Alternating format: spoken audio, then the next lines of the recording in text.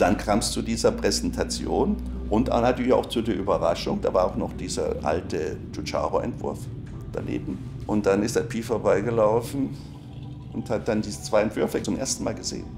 Und dann stand er dann Skoda und was, hat die Autos angeguckt und verabschiedet, wurde dann alles verabschiedet. Musste ja schnell gehen. Und dann saß er vor diesen zwei Autos, diesem neuen Seat-Gesicht. Nuevo Frontal hieß es und das Giugiaro. Und dann hat er gesagt, hat er die Vorstände von Seat, die waren ja dabei. Meine Herren, welches Auto wollen Sie von den beiden? Ist Giugiaro oder Hildebrand? Welcher Konflikt in diesen Vorständen sein musste? Die wussten, Giugiaro hat alles Seats gemacht. Das ist eine sichere Bank. Und der Giugiaro ist befreundet mit dem Biech. Und Hildebrand kennt keine Sau. Und haben sich alle vor das Giugiaro-Auto gestellt. Das wollte er. Macht ausüben. Nee, meine Herren, Sie stehen vor dem falschen Auto. Das hat mir Riesenprobleme gemacht, dass diese Erniedrigung da kam. Hier ist alte Schule, die goldene Ära des Automobils. Mein Name ist Carsten Arndt. Herzlich willkommen zu dieser neuen Folge und dem zweiten Teil mit dem Autodesigner Gerd Volker Hildebrand. Falls ihr den ersten Teil noch nicht gehört habt, solltet ihr das jetzt schleunigst nachholen, denn heute starten wir mit seiner Station Seat. Der Marke hat mein Gast ein neues Gesicht verpasst und dazu musste er sich mit seinem Entwurf erst einmal gegen Piech-Freund Giugiaro durchsetzen. Wir reden heute aber auch über Mini, wo er für reichlich Familienmitglieder rund um den Basis-Mini gesorgt hat und ihr hört, was er für Erfahrungen in China gemacht hat und wie man dort mit westlichen Talenten komplett neue Automarken aufbaut. Viele Insider-Geschichten aus einem wirklich spannenden Berufsleben. Viel Spaß mit Gerd Volker Hildebrand.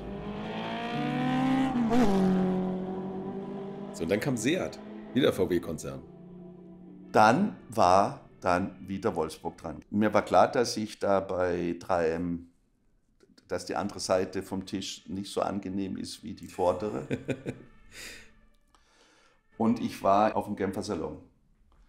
Und Markus ist in der Zeit gerade nach äh, Wolfsburg, also Piech hat, äh, wurde Vorstand von, glaube Hahn-Nachfolger. Ja?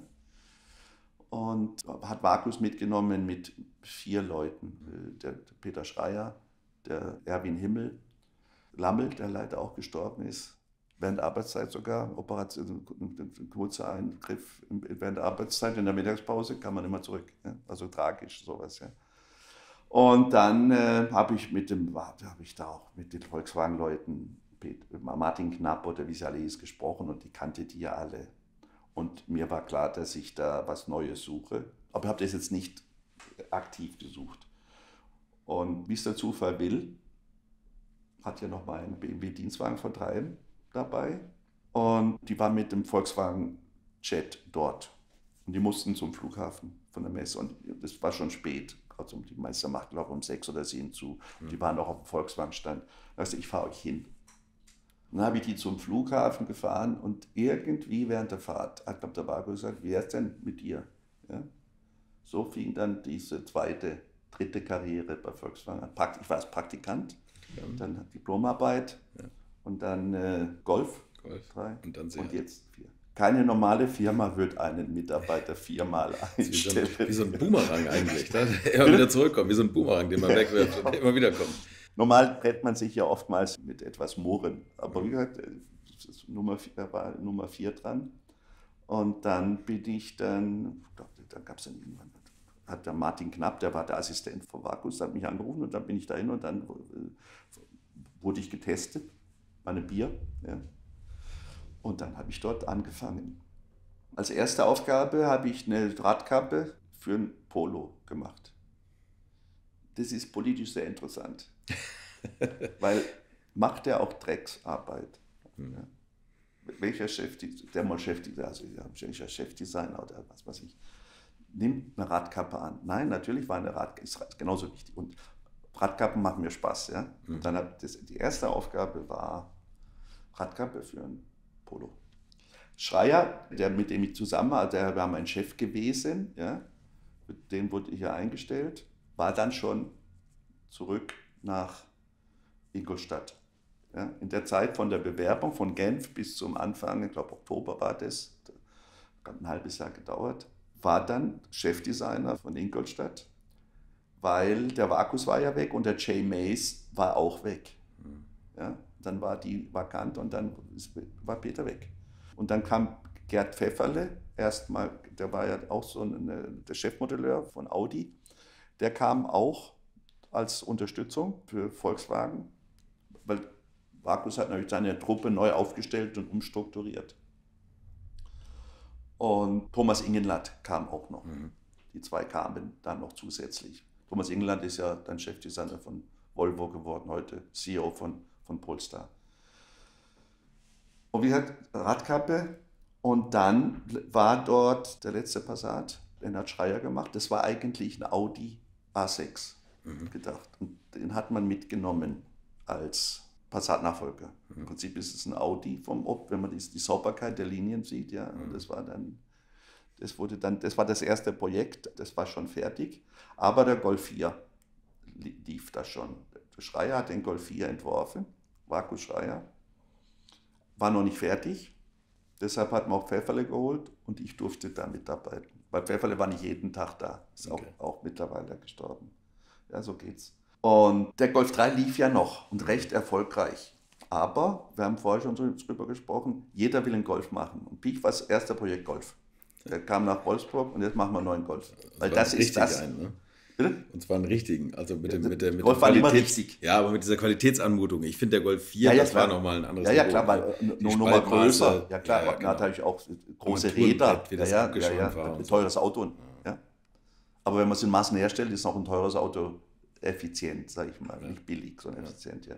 Aber es geht hier natürlich um das Selbstgefühl. Ja. Ich mache auch einen Golf. Das erste, das erste Projekt war dann Golf und das hat dann Schreier gemacht und war dann aber weg. Und Pfefferle hat es dann weiter betreut und ich habe dann am, an einem Coupé gearbeitet. Gab es dann nie. Zweitüriges Coupé für den amerikanischen Markt. Wäre ein schönes Auto gewesen.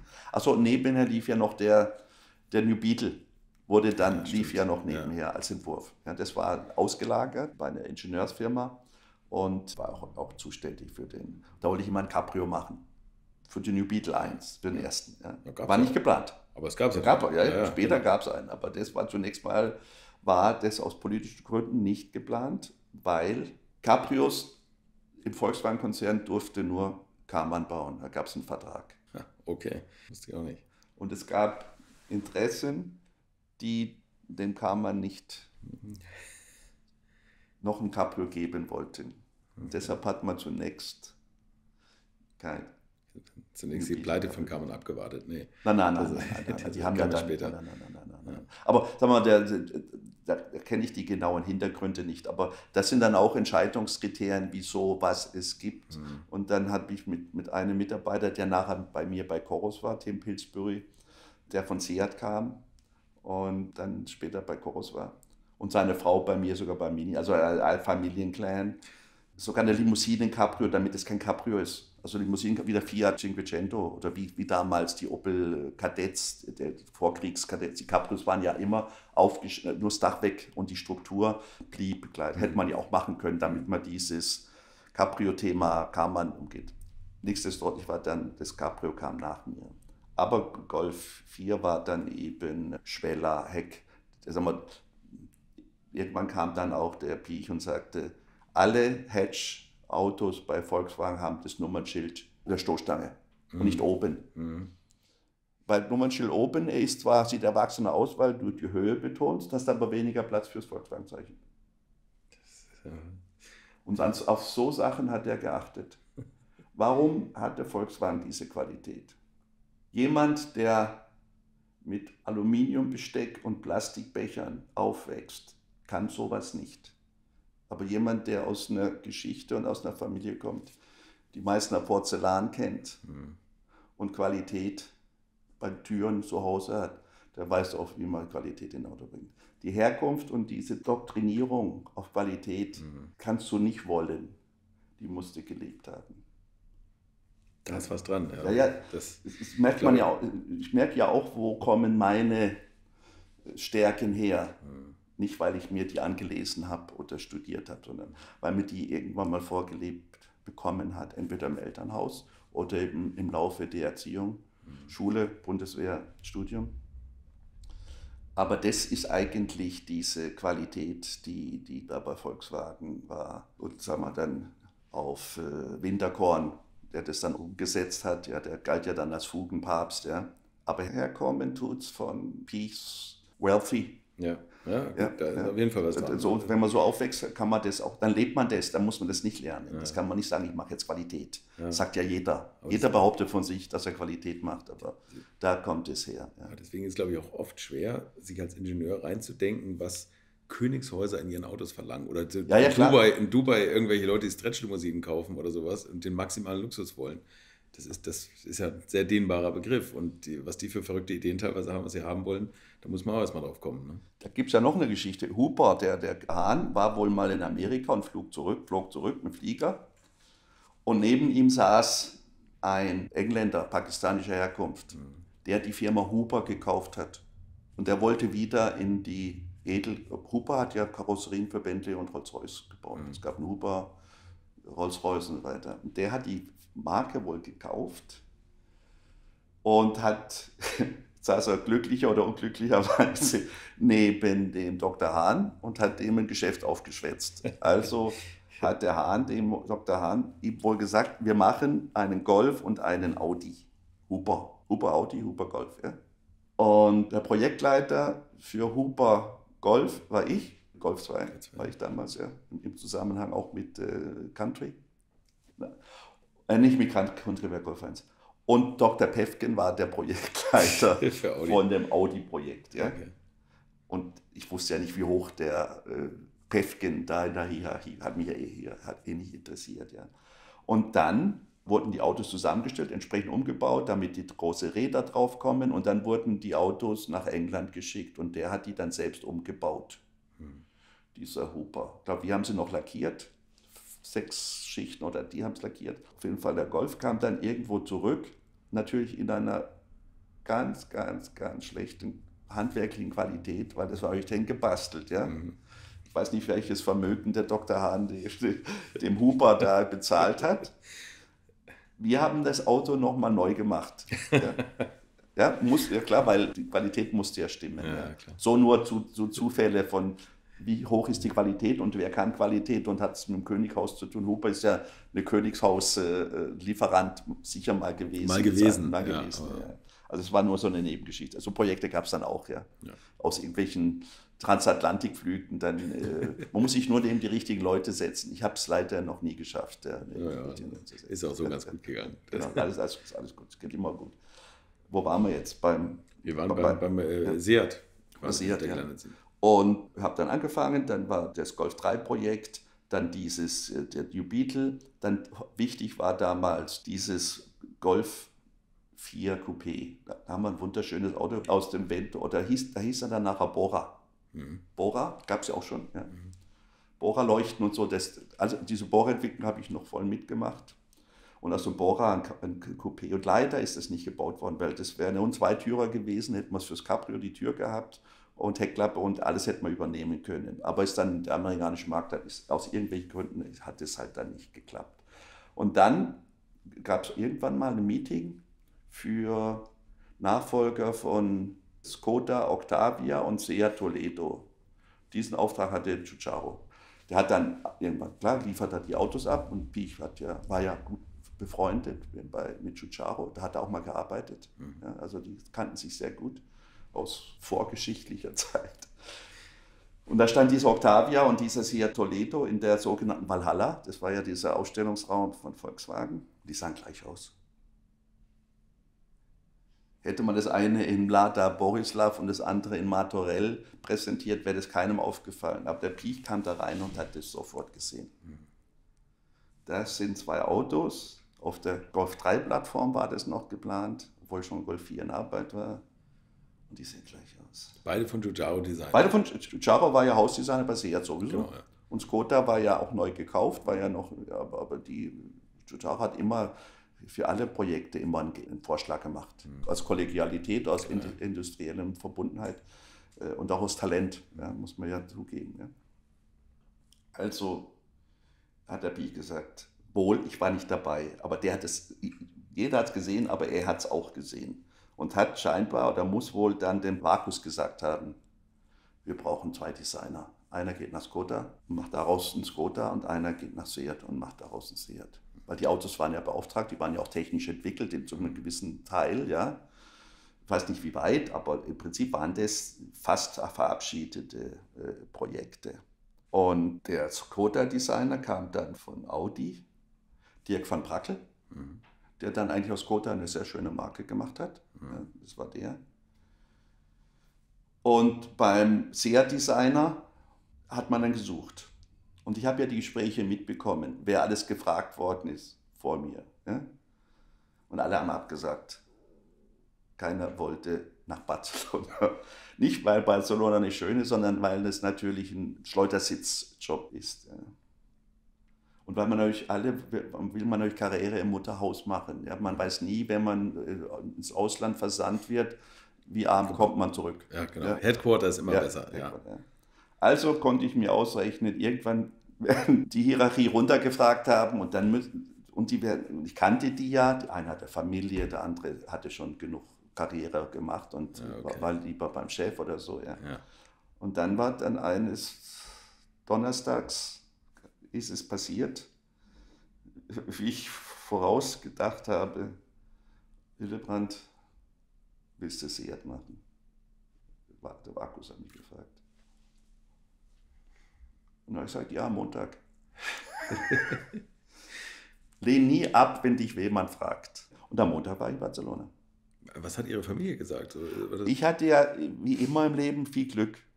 Ja, weil ich leidensfähig war, aber weil ich auch Glück hatte. Erstes Mal kannte ich den ehemaligen Chefdesigner von Seat, Martinez. Hm. Der war schon mal, als ich noch am Golf beim Schäfer gearbeitet habe, als Seat gekauft worden ist, wurde er eingeladen und hat ein Training gemacht, wie deutsches Design geht. Ja, der saß okay. also okay, ja. in Wolfsburg. Alleine. Spanier. Hat er gekotzt ja. mit dem Wetter. Und ich habe mich um ihn gekümmert. Okay. Weggegangen und hat mir Spaß gemacht. Ich war auch mal, glaube ich, als ich in Spanien im Urlaub bei ihm vorbeigefahren. Also ich kannte den, obwohl der schon ab, der war abgesägt. Ja? Und jetzt hatte ich dieses Angebot und dachte, und ich habe eigentlich in Düsseldorf, nachdem ich in 3M war, ich habe mir eine Wohnung, eine schöne Wohnung gekauft in Düsseldorf und hatte einen Sohn. Wir haben zwar nicht so, keine Familie, aber Sohn. Und Düsseldorf war schöner als jetzt Gifhorn, wo ich dann gewohnt habe. Ja, bin ich am Wochenende sowieso immer nach. Hatte Dienstwagen, hat nichts gekostet quasi. Ja, bin ich am Wochenende meistens in Düsseldorf gewesen. Also, ob ich jetzt nach Düsseldorf, nach Wolfsburg fahre oder von Düsseldorf nach Barcelona, ist ungefähr gleich weit. So, Flugstrecke. Also die Frage war nicht, aber die Frage war, ich mache das, weil das eine Herausforderung und wenn es andere nicht machen, dann muss es gut sein. Mhm. Ja, dann muss man sich, da kann man auch was äh, bewegen. Ja. Und da war ich am, am, wie gesagt, am Donnerstag wurde ich gefragt. Und den Koffer, den ich ja am Wochenende von Gifhorn oder Wolfsburg, wo ich gewohnt habe, mit nach Düsseldorf nahm, musste ich ja nicht mehr aufmachen. Der war gepackt. Und dann, am Montag war ich dann in Barcelona im Hotel und der Martin, jetzt kannte ich ja, der war noch Mitarbeiter, aber war nicht mehr Designchef. Der damalige Designchef wurde wohl entlassen. Aus welchen Gründen weiß ich, weiß ich gar nicht. Ja. Und dann äh, fing das an. Der technische Chef von Seat, Aguilera hieß er, der wollte mich nicht. Also er wollte keinen Fremden da drin. Der wollte das mit Chucharo weitermachen. Das habe ich erst eigentlich später mitbekommen. Ist, ist auch egal, weil das ist eigentlich egal, ob man gewollt wird oder nicht. Ich wurde dahin geschickt, ich wurde gefragt, ja. er hat gesagt, wenn die mich fragen, dann werden die auch stützen. Ja. Und das Auto war dann auch schon da, dieses Chucharo-Auto war dann da. Und haben die dran, da gab es eine Designabteilung, da gab es zwei Designabteilungen, zwei konkurrierende Designabteilungen. Es gab nämlich dort auch einen Patrick Ayub, auch ein Freund von mir, Patrick Ayub hatte in der SEAT, in der Entwicklungsabteilung, da gab es zwei Designabteilungen, zwei konkurrierende äh, aus persönlichen Gründen. Und der hatte dann irgendwie geschafft, dort Designchef Nummer zwei oder eins zu werden. Und der ging aber, ist auch, auch gegangen und der, mein Vorgänger ist auch gegangen, weil der hat wohl zu hohe Forderungen gestellt oder Piech, Piech und Vakus ließen sich nicht erpressen. Ah, okay. Aber so, gefühlt ist auch egal, ja. weil da gab es zwei Studios und ich war jetzt da mit meinem Koffer. Ja, und dann fing das an. Dann bin ich da morgens hoch, dann am ersten Tag, Schreibtisch, zwei Stifte drauf und ein Block. Und die Sekretärin, Marie Dolores Bueno, ein Goldstück. Hat mal in Stuttgart gelebt, Spanierin aus Barcelona. Ganz verschüchtert, weil es kommt ein neuer Chef. Ja, einen alten kannte sie ja oder so, ja. Wir haben nichts, wir haben keine Büro, wir haben, sind eine Arbeitsfirma. Gerd, wir sind eine Arbeitsfirma. So egal, machen wir jetzt eine Reiche draus, ja. Und dann hat dieser Schreibtisch und dieser Block Papier und hinter mir war ein Fenster, da hat es immer reingeregnet, also da war sogar ein Loch in, in, der, in, in dem Fensterbrett durch das tropfende Wasser. Oh ja, spanische Qualität. Regnet ja, regnet es ja auch nicht so oft. Ja. ja also auf jeden Fall, dann fing es an und dann fing man mit dem Auto an. Und dann waren da zwei Teams da, die eine Team von einem Studio und das andere. Und dann fing man an und dann haben wir das mal konsolidiert. Ich bin da ja immer blauäugig dran gegangen. Ja. Habe im Hotel gewohnt, Hotel Moritz, so wie mein Sohn. Hatte dann auch einen Bandscheibenvorfall, weiß auch nicht, und habe dann auch körperlich gelitten für ein paar Wochen. Ja. Lag dann eigentlich abends immer im Kistenbett und morgens bin ich da hoch, hatten äh, Seat Ibiza GT oder wie die hießen, Cupra, ja, ja. Rennrakete, ja. Und habe mir immer ein Hotel gesucht, wie es mir gefiel. Sieges, ja, ich musste, ja. ich hatte keine Wohnung mir ja. besorgt, ja. Okay. Dann immer äh, Hotel. Weil ich auch viel in Wolfsburg natürlich war, hin und her. Und am Wochenende bin ich mit Finnair für 120 Mark nach Düsseldorf geflogen. Ob ich jetzt für 80 Mark Spritkosten Wolfsburg-Düsseldorf fahre ja, mit vier oder, Stunden. Oder ja, ich habe direkt am Flughafen geholt in Düsseldorf. Ja. Okay. Und meine Sekretärin hat mich zum Flughafen gebracht, dann hatte sie das Auto und dann hat sie mich wieder abgeholt am Montag. Also alles gut.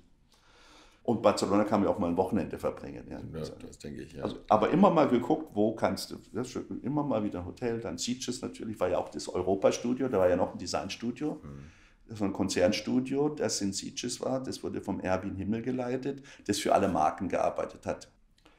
Und so fiel das an. Und dann habe ich zwei, drei Skizzen gemacht. Ich wollte eben, als Alfa Romeo hat mich immer fasziniert. Ja, mit, diesem, mit diesem Scudetto da vorne drauf. Ja, ja. ja. Und das ist eigentlich auch, das habe ich dann, ich habe BMW und Alfa Romeo kombiniert auf dem Seat-Gesicht, weil das Giugiaro-Entwurf hatte kein Gesicht, sondern hatte nur diese Standard- Grill, wie halt alle Seats hatten vorher. Ja. Und das ist das Wichtige gewesen, dem, dem Seat ein eigenes Markengesicht genau, in diesem genau. ganzen Markenverbund ja, genau, zu geben. Skoda hat was Eigenes. Die ja. diesen Skoda hat ja, der, der, der Dirk von Brackel hat dieses Rolls-Royce-Gesicht gemacht. Richtig, genau, dieses Chrommäßige. Genau. Ne, Im Prinzip, die, der Grundkörper war ja fertig, die Türen waren entwickelt, schätze ich mal bei beiden. Die waren auch ähnlich. Ja? Total. Hat eh nicht gedacht, dass er das Projekt kriegt. Ja, Sie, aber haben, wir, Sie haben diese schmalen horizontalen Linien gemacht genau, mit den eingelassenen Scheinwerfern ja. und dann dieses also steilstehende in der Mitte. Ne? Genau. Ja, also wirklich Vertikale das typische. Gräler, vertikal heißt maskulin und horizontal ja. heißt dynamisch. Das typische Seat-Gesicht, was wirklich ja. Es wurde nachher, es war was verbessert, man hätte mit dem Gesicht noch mehr machen können, aber das war Nachfolger, da kann ich jetzt nicht drüber urteilen. Aber die Idee war Alpha südlich, Alfa Romeo, dieses kleine Gesicht. Diese, ja, weil viele Themen gab es ja nicht mehr. Die BMW-Niere war schon weg, war schon was, erfunden, weil genau, sehr ja. gut war, ja, was ja. sehr gut war. Und sagen wir, diese Kombination aus erotischem Dreieck ja, von Alfa Romeo, das ist ja nichts anderes als eine weibliche erotische Sig Signaldreieck. Mhm. Ja. Deshalb ist es so ansprechend. Wahrnehmungspsychologie ist ein ganz wichtiges Thema, dessen Designer verstehen muss. Beliebigkeit ist immer falsch. Mhm. Man muss schon ein bisschen was denken. Und diese horizontale Dynamik mit den eingegliederten Seitenleuchten. Und dann obendrauf auf der Haube ein. Blitzer. Ja. ja. Das war eigentlich. Und unten ein neutrales, sauberes Gesicht ohne gequollene Mäuler oder so, sondern ein in sich geschlossenes Bild das alles aufnimmt. Und dann, was ich dann beim Piech gelernt habe, was eigentlich heute auch viele nicht mehr lernen, man darf keinen Auspuff sehen, wenn man im Auto hinterher fährt. Das hat ja auch bei Dieselautos den Auspuff ganz wegfallen lassen, indem man ihn innen versteckt hat. Mhm. Und Abschlepphaken oder solche Lösungen müssen, sollten integriert sein. So habe ich ihn verstanden. Also der Seat Toledo Leon, der, an dem ich arbeiten durfte, hat ja ein, eine, kein, vorne keine Abschleppöse, keine sichtbare. Hat natürlich eine, ja. Die hinter einem Teil des Grills so versteckt ist, dass es Teil der Grafik ist. Ja. So Sachen ist eigentlich Piechschule und Vakusschule. Ja. Und warum macht der keine Auspuffrohre? Weil das hat er auch Den Diesel verschmutzt, ja. Diesel schmutzig und dann die Grünen gab es damals schon. Schon hellseherisch unterwegs. Ja, ja, ja, ja, ja. ein Held. Ja. Man kann, ich jagte ihn. Äh, ich, äh, die Pischule, die, wer durch die Pischule ist, der. Ja, wobei ich glaube, manchmal braucht man das dann ja doch. Nehmen wir jetzt mal den Phaeton. Der hat ja ganz klar diese vier äh, quadratischen Auspuffrohre Ja, okay, wenn es dann zum Signal wird, ja, ja aber eben, wenn genau. ein normaler also Dieselauspuff bei einem Polo oder bei einem Golf ist ein Röhrchen, ja, dann, ja, genau. kann man zwei Dinge machen. Man, man steckt einen falschen drauf, einen großen, fetten. Was heute jeder macht, leider. Oder man lässt ihn weg. Ja. Auf jeden Fall, er hat, genau wie er das Nummernschild nach unten gelegt hat, damit er oben das Logo hat, sind diese Dinge, die diese, oder dass man von hinten nicht in den, Auto, in den, auf den Auspuff guckt. Das kann man heute bei vielen Autos wieder, auch Nachfolgeautos, ja. die ich gemacht habe. Man soll einen Auspufftopf nicht sehen. Mhm. Da muss man halt den Stoßfänger oder sonst so verlängern. Oder teuer den Auspuff gestalten, mhm. wie zum Beispiel bei äh, äh, ja, BMW bei den M-Modellen zum Beispiel die vier Auspuffe. Ja, nein, nein, oder? Den, die, den Topf, nicht die Rohre, sondern so, so, die Unterwäsche. Ah, okay. Wenn du dem Auto hinterherfährst, siehst du entweder da siehst du die, die Arme von der Achse und den Auspufftopf, der dann rostig ist oder billig gestaltet, Richtig. gewickelt und so. Ja, ja. Der Cayenne hat einen, Ach, dieses, geprägten Auspuff, der Teil der Gestaltung ist. Dann ist es gültig, dass, dass, der, dass die Gestaltung auch beim Auspuff weitergeht. Später habe ich alle Unterböden von Autos entworfen. Für mich. Sieht keiner, höchstens wenn er überfahren wird. Oder das Eichhörnchen. Ja. Aber das kostet dich ja nichts. Ja, dass du, äh, auch beim Schäfer habe ich damals, fing das, gab es einen Mann, der hat nur Motorraum gemacht. Damals war Motorraumdesign kein Thema. Ja, weil Geld, es fing an mit Kabel sauber verlegen. Dann die Deckel einheitlich farblich zu machen. Also der das gemacht hat, der hat auch einen schweren Stand gehabt, aber das fing, das fing an, gesamtheitlich ein Auto zu entwerfen. Nicht nur schön machen, sondern auch funktional und einheitlich. Und wenn man die Motorhaube aufmacht, dass man da ein Logo hat, ein Deck. Das ist nicht das, natürlich, dass das heute überall ist. Ja? Das hat Harm Lagai angefangen bei Porsche mit dem 968. Der ja, gut, das ist natürlich eine andere Preisklasse. Das stimmt. Neben dem Fugenbild bei Volkswagen das eigentlich von Opel kommt. Mhm. Opel war Vorbild bei dieser 3,5 mm Fuge. Opel hatte die zuerst. Da, okay. da stand der Opel immer daneben. Aber der Rest, diese Abschleppöse, nicht in die Unterwäsche gucken, Auspuff, das war Piech und Markus. Das, diese Autos haben das alles sauber. Ja. Das Dinge, die eh gebaut werden, muss man in der Maschine bauen, kann man es auch gleich richtig machen. Mhm. Ja. Und und dieses Perceived Value, dieser unterschwellige Qualitätsanspruch ist ja das Wichtigste bei einem Menschen, bei, bei allem, was man hat. Ja? Und das habe ich versucht dann bei Seat. Interessant, ja. ja also auch, erstmal aufräumen. Alles, mhm. alles, was nicht dahin gehört, mal weg. Weil, das, äh, weil alles, was weg ist, ist auch schön, weil es nicht da ist. Ja. Und was, glaube ich, speziell bei Seat, Skoda, Audi, VW schwierig war, ist, weil die Autos ja alle unterschiedlich bepreist waren trotz allem die Armaturenbretter, Knöpfe, Schalter, sowas alles zwischen den verschiedenen Marken zu verteilen, ohne dass man sagt, der Audi wird entwertet, wenn man die gleichen Cockpits im Seat findet und andersrum sollte es ja auch nicht stattfinden. Aber trotzdem haben sie es ja gemacht, ne? also Lenkradschalter und irgendwas. Ja, aber zum Beispiel ne?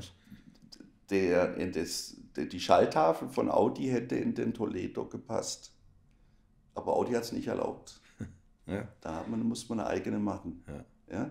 Weil natürlich markenübergreifend Differenzierung erstmal die, die Medien hier, die, die Journalisten, ja. das merken und dann der Kunde natürlich für ein teures Auto und nicht auch eine billige weil dann würde ich sagen, die Schalltafel ist ja vom Seat. Man würde es ja da negativ auslegen und nicht sagen beim Seat, der hat eine Audi-Schalltafel. Ja? Ja. Also die Differenzierung in den Marken, gerade bei so einem Multimarkenkonzern wie Volkswagen, ist natürlich schon eine Kunst. Das hat ja auch funktioniert. Ja, die, die, die Positionierung der Marken auch im Preissegment.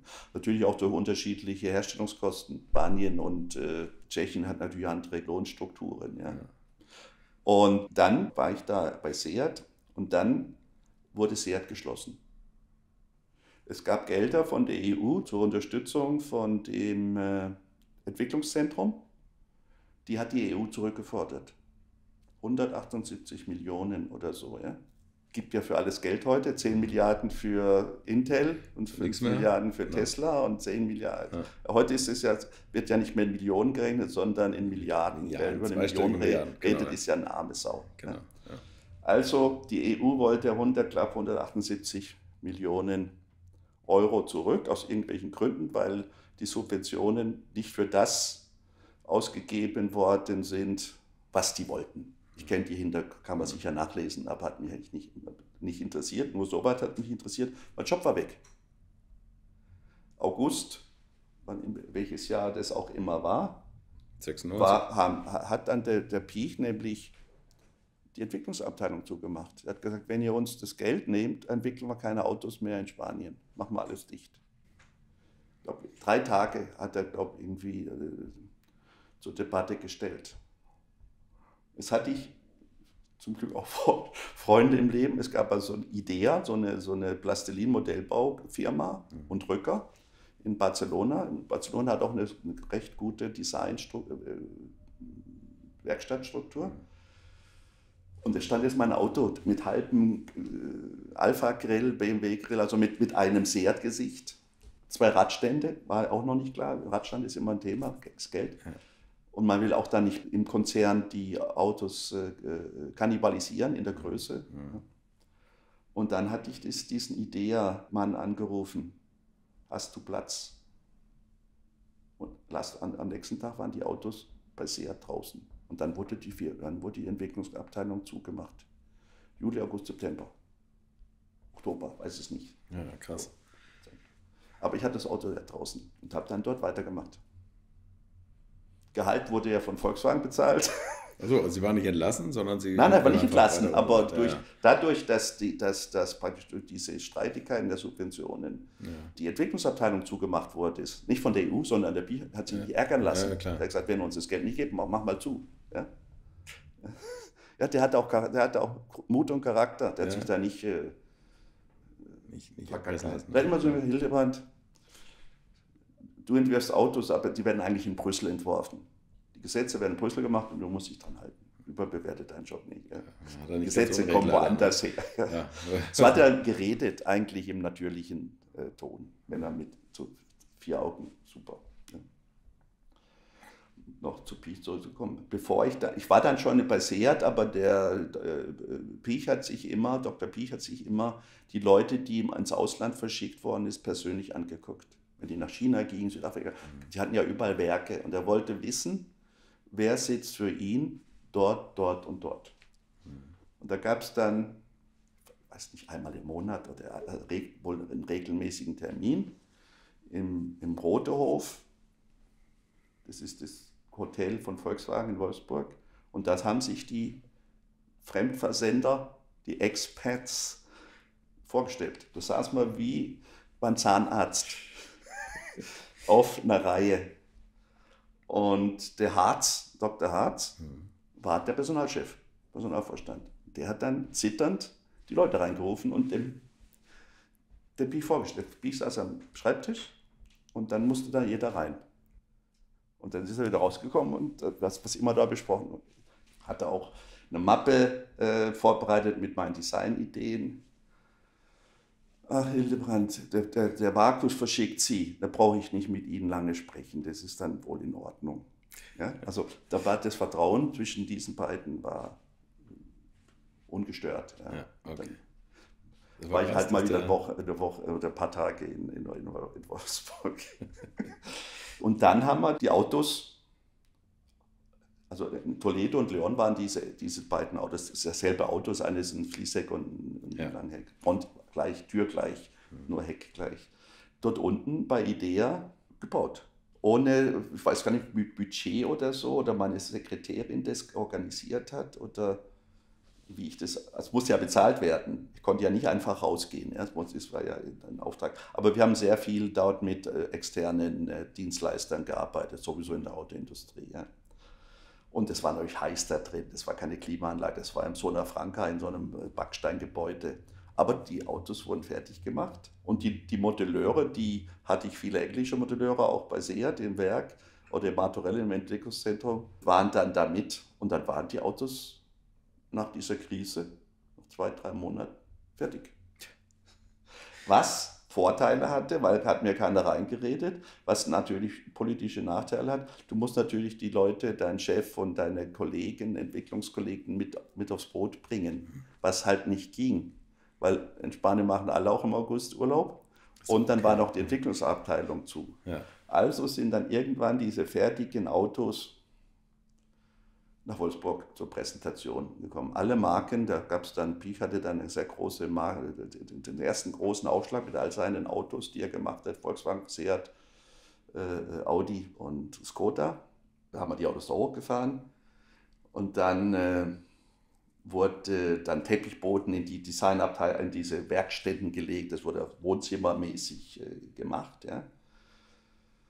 Und die Agentur, die das gemacht hat, Zebra-Design, weiß ich noch wie heute. Ja? Die kannte ich auch vom Messebau. Ja? Und ich habe die ganze Nacht alles, alles was die an, an, an Material hatten, an Holzplan und Sperrenholzplan und Farbe, verbauen lassen. Also aus dieser Designabteilung, die, die, die einen sehr industriellen Charakter hatte, ein Wohnzimmer, was dann auch Verkleidung von Aufzügen ja. mit Platten, aber so funktional, dass man das dann blieb, nicht, ja. dass man es abreißen musste. Ja? Und da habe ich dann in der Designabteilung, glaube ich, in einem Audi 100 geschlafen, die Nacht über. Ja. Nach Barcelona konnte ich ja nicht zurück. Und dann kam es zu dieser Präsentation und natürlich auch zu der Überraschung, da war auch noch dieser alte Giugiaro-Entwurf daneben. Ja. Und dann ist der Pi vorbeigelaufen und hat dann diese zwei Entwürfe gesehen, zum ersten Mal gesehen. Hatte vorher noch nicht. Möglicherweise hat er die schon vorgesehen. Mhm. Die laufen ja auch heimlich dann abends rum. Mhm. Ja? Oder es wird berichtet. Das weiß ich. Für mich hat er es zum ersten Mal gesehen. Und dann stand er, dann Skoda und was, die Autos angeguckt und verabschiedet, wurde dann alles verabschiedet. Musste ja schnell gehen. Golf 4 war fertig. Und dann saß er vor diesen zwei Autos, diesem neuen Seat-Gesicht. Nuevo Frontal hieß es. Nuevo Frontal. Das ist Spanisch habe ich dann auch gelernt. Und das Chucharo. Und dann hat er gesagt, hat er die Vorstände von SEA, die waren ja dabei, weiß ich, drei oder vier, ich möchte jetzt keine Namen nennen. Meine Herren, welches Auto wollen Sie von den beiden? Ist Charo oder Sildebrand? Also den Namen hat er nicht genannt, mhm. aber es waren zwei Autos. Und allen war ja klar, welches Auto das ja. ist. Ja, jetzt, welcher Konflikt in diesen Vorständen sein musste. Die wussten, Chucharo hat alles Seats gemacht. Das ist eine sichere Bank. Mhm. Und der Chucharo ist befreundet mit der Biech. Und Hildebrand kennt keine Sau. Dann haben sich alle vor das Chucharo-Auto gestellt. Das wollte er. Macht ausüben. Nee, meine Herren, Sie stehen vor dem falschen Auto. Das hat mir Riesenprobleme gemacht, dass diese Erniedrigung da kam. Aber auf jeden Fall, das Erdgesicht kam dann durch und die Schwierigkeiten begannen natürlich ja, mit Umsätzen und so weiter. Und so war das dann passiert. Dann bin ich, als die Autos fertig waren, habe ich glaube noch am Facelift von einem Ibiza gearbeitet. Und die Arbeiten gingen dann aber alle nach Europa, der Europa-Studio. Es gab so ein Design Center Europe für den Gesamtkonzern. Und die haben dann die Autos fertig gemacht. Und ich kam zurück und habe am T6 gearbeitet. Mhm, okay. Also wieder zu meiner alten Heimat. Mal wieder. Ja, ja, schon wieder, genau, genau. Ja. Hat sie sich in der Zwischenzeit viel verändert von der Arbeitsweise bei VW oder von der, von der Art, wie Sie es kannten, in diesen verschiedenen Epochen, die Sie bei VW erlebt haben? Natürlich ist immer alles abhängig von den Vorgesetzten und von den Kollegen, die sich dann auch natürlich im Laufe der Zeit ändern, aber natürlich auch Technologien, jetzt äh, die ganze Kass-Geschichte, das fing ja an damit, man, dass, dass man Felgen auf dem Computer entworfen hat, genau. bis dann diese Alias und Sachen auch in die Karosseriebau kamen. Dass man dann später, wenn, also wenn ich jetzt vorausgehe, bei Coros haben wir alle Autos auf dem Computer gemacht parallel. Mhm. Weil einfach von der Distanz und von den Werkskapazitäten. Also, und heute weiß ich von Freunden, dass zum Beispiel KI, du sagst einfach KI-Felge, 5 Loch, 17 Zoll, was weiß ich, Einpresstiefe, Aluminium gefräst, gibt es ein paar Faktoren ein und dann schmeißt dir der Computer 10 Felgen raus. Also KI hat schon Einzug gehalten in den Entwurfsprozess. Also es wird eine schwierige Zeit werden für Designer vom Arbeitsplatz her. Nicht vielleicht für kreative Köpfe, die das steuern und, und, und, und strategisch machen können ja, und Entscheidungsprozesse herbeiführen können. Aber für das Handwerkliche, eine Felge kannst du heute, äh, sagen wir mal, zehn Felgenentwürfe, die du ja händisch sonst hättest machen müssen, äh, kannst du heute eingeben und dann sucht er aus, KI ist ja eigentlich ein dummes Programm, ist ja nur ein Sammelprogramm aus, aus Bestehendem. Ja? Der klaut dann. Wie, ja, ja, klaut, aber klaut, er, mischt. Ja, er mischt ja. Und, und wenn, ich weiß nicht, wie weit man dann auch dann Charakterzüge eingeben kann, wurstig Englisch oder so, so redet, so, das war meine Tonlage. Bei Mini machen wir wurstig Englisch, sportliche Felgen, mhm. da weiß jeder Designer, was ich meinte ob man das dann auch einem KI so geben. Aber kann man sicher. Ja, ich habe mal ein paar, ich habe jetzt zwei, drei Versuche machen lassen. Ich habe selbst nicht das Programm nicht gekauft. Mal eine Rede schreiben lassen, mal was über Hildebrand schreiben lassen. Fehlerhaft, weil es gibt noch einen Gerd Hildebrand Designer in Berlin. Ja? Okay. Also da wurde ich dann reingemischt. Ja? Und eben ein Porsche äh, im Sand. Äh, Rallye Porsche im Sand. Und das spuckt dir in Sekundenbruchteilen aus. Mhm. Also das Programm lebt da von dem Existierenden ab, aber das Internet ist ja voll von Daten. Eben. Ja? Und ja. wenn ich auch eine neue Felge mache mit der Hand, basiert es ja in meinem Kopf auch auf Bekannten. Klar. Plus Randbedingungen, die nicht zu ändern sind. Mhm. Lochkreisbild, fünf Schrauben, vier mhm. Schrauben, Diameter, also äh, äh, das, das, das Maß, äh, Ventil. Also sagen wir mal, eine Felge ist ja auch schon mal zu, zu 80 Prozent determiniert von, von äh, technischen Bedingungen, von Straßenverkehrszulassungsordnung, Einpresstiefen ja, und, und, Marke. Natürlich, mal, Audi hat ja lange mit diesen Löchern oder mit den Speichen gearbeitet, mhm. Alpha mit den Löchern. Deshalb wollte ich bei Seat immer auch Lochfelge, Lochdesign machen. Ja. Äh, dann äh, kannst du das schon einschränken. Dann spuckt dir dieses Programm Sachen aus, für die du wahrscheinlich mit dem Designteam Geld und Zeit verbraucht hast. Mhm. Also kann durchaus auch, ist eine Arbeitserleichterung, Entscheidungserleichterung. Wie gefährlich es ist für die Kreativität, weiß ich nicht. Ich bin ja nicht mehr im Prozess. Ja. Aber naja, gut, also das wird den schon ganz schön einheizen. Ja, ja, Wenn also ein Chef sitzt und sagt und hängt auf einmal KI-Felgen mit auf und dann stehen da fünf Designer und alle finden die KI-Felge am schönsten. Wär, das, das wäre ja egal. Das Schlimme ist, wenn der Chef dann selbst entwerfen kann. Das ja, war ja, ja immer okay, unsere Angst stimmt, als. Designer, weil das wollte natürlich vorstellen. Und Chefs, jeder will ja Vater eines Kindes sein, ja? Vater eines Aus, habe ich gemacht. Deshalb versuche ich diesen Satz so wenig wie möglich zu, zu verwenden. Habe ich gemacht, ist immer das, was, ich nicht, was man nicht hören will, sondern mindestens haben wir gemacht ja? oder es wurde gemacht. Und damals schon, als wir Alias und diese ganzen Computerprogramme hatten, hat man immer als unter Designer gesagt, zeig nur nicht dem Vorstand XY, wie das funktioniert, sonst macht er selbst. Ja. Jeder will am Ende seinen Strich hinterlassen, ja. seine Vaterschaft. Ja, ist ein ganz natürlicher, beim kind, eigenen Kind möchte man ja auch sehen, dass es von einem selbst ist. Ja. Aber dieses KI könnte dazu führen, dass sich da, wenn er sein Vorstand, seinem Sohn, kurz vorm Abitur sagt, machen wir mal zehn Felgen mit den und den Bedingungen. Dann kann der das. Und dann kann der zum Designchef gehen oder zum Designer, ich möchte die und die Felge, setz mir die um. Aber die sind ja auch da, das, die haben ja auch 3D-Programme, die, die, mhm. sind schon umgesetzt. Also es kann hochgefährlich sein, weiß es nicht. Ja. Wenn man natürlich die, die, die, die Eingabe im Programm so spezifisch macht, dass sie nicht kopierbar ist, indem man sagt Porsche Charakter oder äh, analog 911, 962, mhm. was weiß ich, dass man das dann markenspezifisch, dann kann man das auch, dann wird es auch eine spezifische Felge, die dann einfach zu dem Auto passt. Also ja. auch hier wieder ist dann die Kreativität der Eingabe wichtig. Ja. Das ist wie wenn eine Uhr machen lässt auf KI. Ja. Wenn du nur sagst Uhr, macht er dir eine Uhr. Wenn du sagst aber analog, Rolex, Sima, äh, was weiß ich, äh, GMT 2, äh, grün und so weiter. Je mehr du spezifizierst bei KI, je mehr kommt auch ein präzises Ergebnis ist, raus. Aber, aber das ist beim Briefing, jedem, beim Designer genau, ist genauso. Ist ne? genau das Gleiche. Auch gut briefen. Aber ich bin kein KI-Spezialist. Ich ja. habe jetzt nur die ersten Anfänge äh, so, so, mitbekommen und die ersten Diskussionen. Und es gibt schon super Designentwürfe, auch exterior Designentwürfe. Äh, ist halt dann so. Man Designer gab es vor meiner Zeit wenige oder kaum. Die meiste Design wurde ja damals von Konstrukteuren und Ingenieuren gemacht, auf jeden Fall im deutschen Automobilbau. Sacco war ja Vermessungsingenieur im Prinzip und gar kein Designer. Styling kommt ja aus Amerika, Harry Earl in den 20er Jahren. Ist jetzt 100 Jahre alt. Ob es nochmal 100 Jahre alt in der Form, ganz sicher nicht, denn selbst in meiner Zeit hat sich der Beruf so stark gewandelt, dass er sich sicherlich auch in äh, nächster Zeit noch stark wandeln wird. Ja, auf der anderen Seite gestaltet werden muss ja alles. Also von daher, Designer braucht man, aber ja, Sie haben recht, ob die dann irgendwann nur noch eine KI programmieren oder das möglichst spezifizieren oder ob sie auch wirklich noch einen Stift schwingen.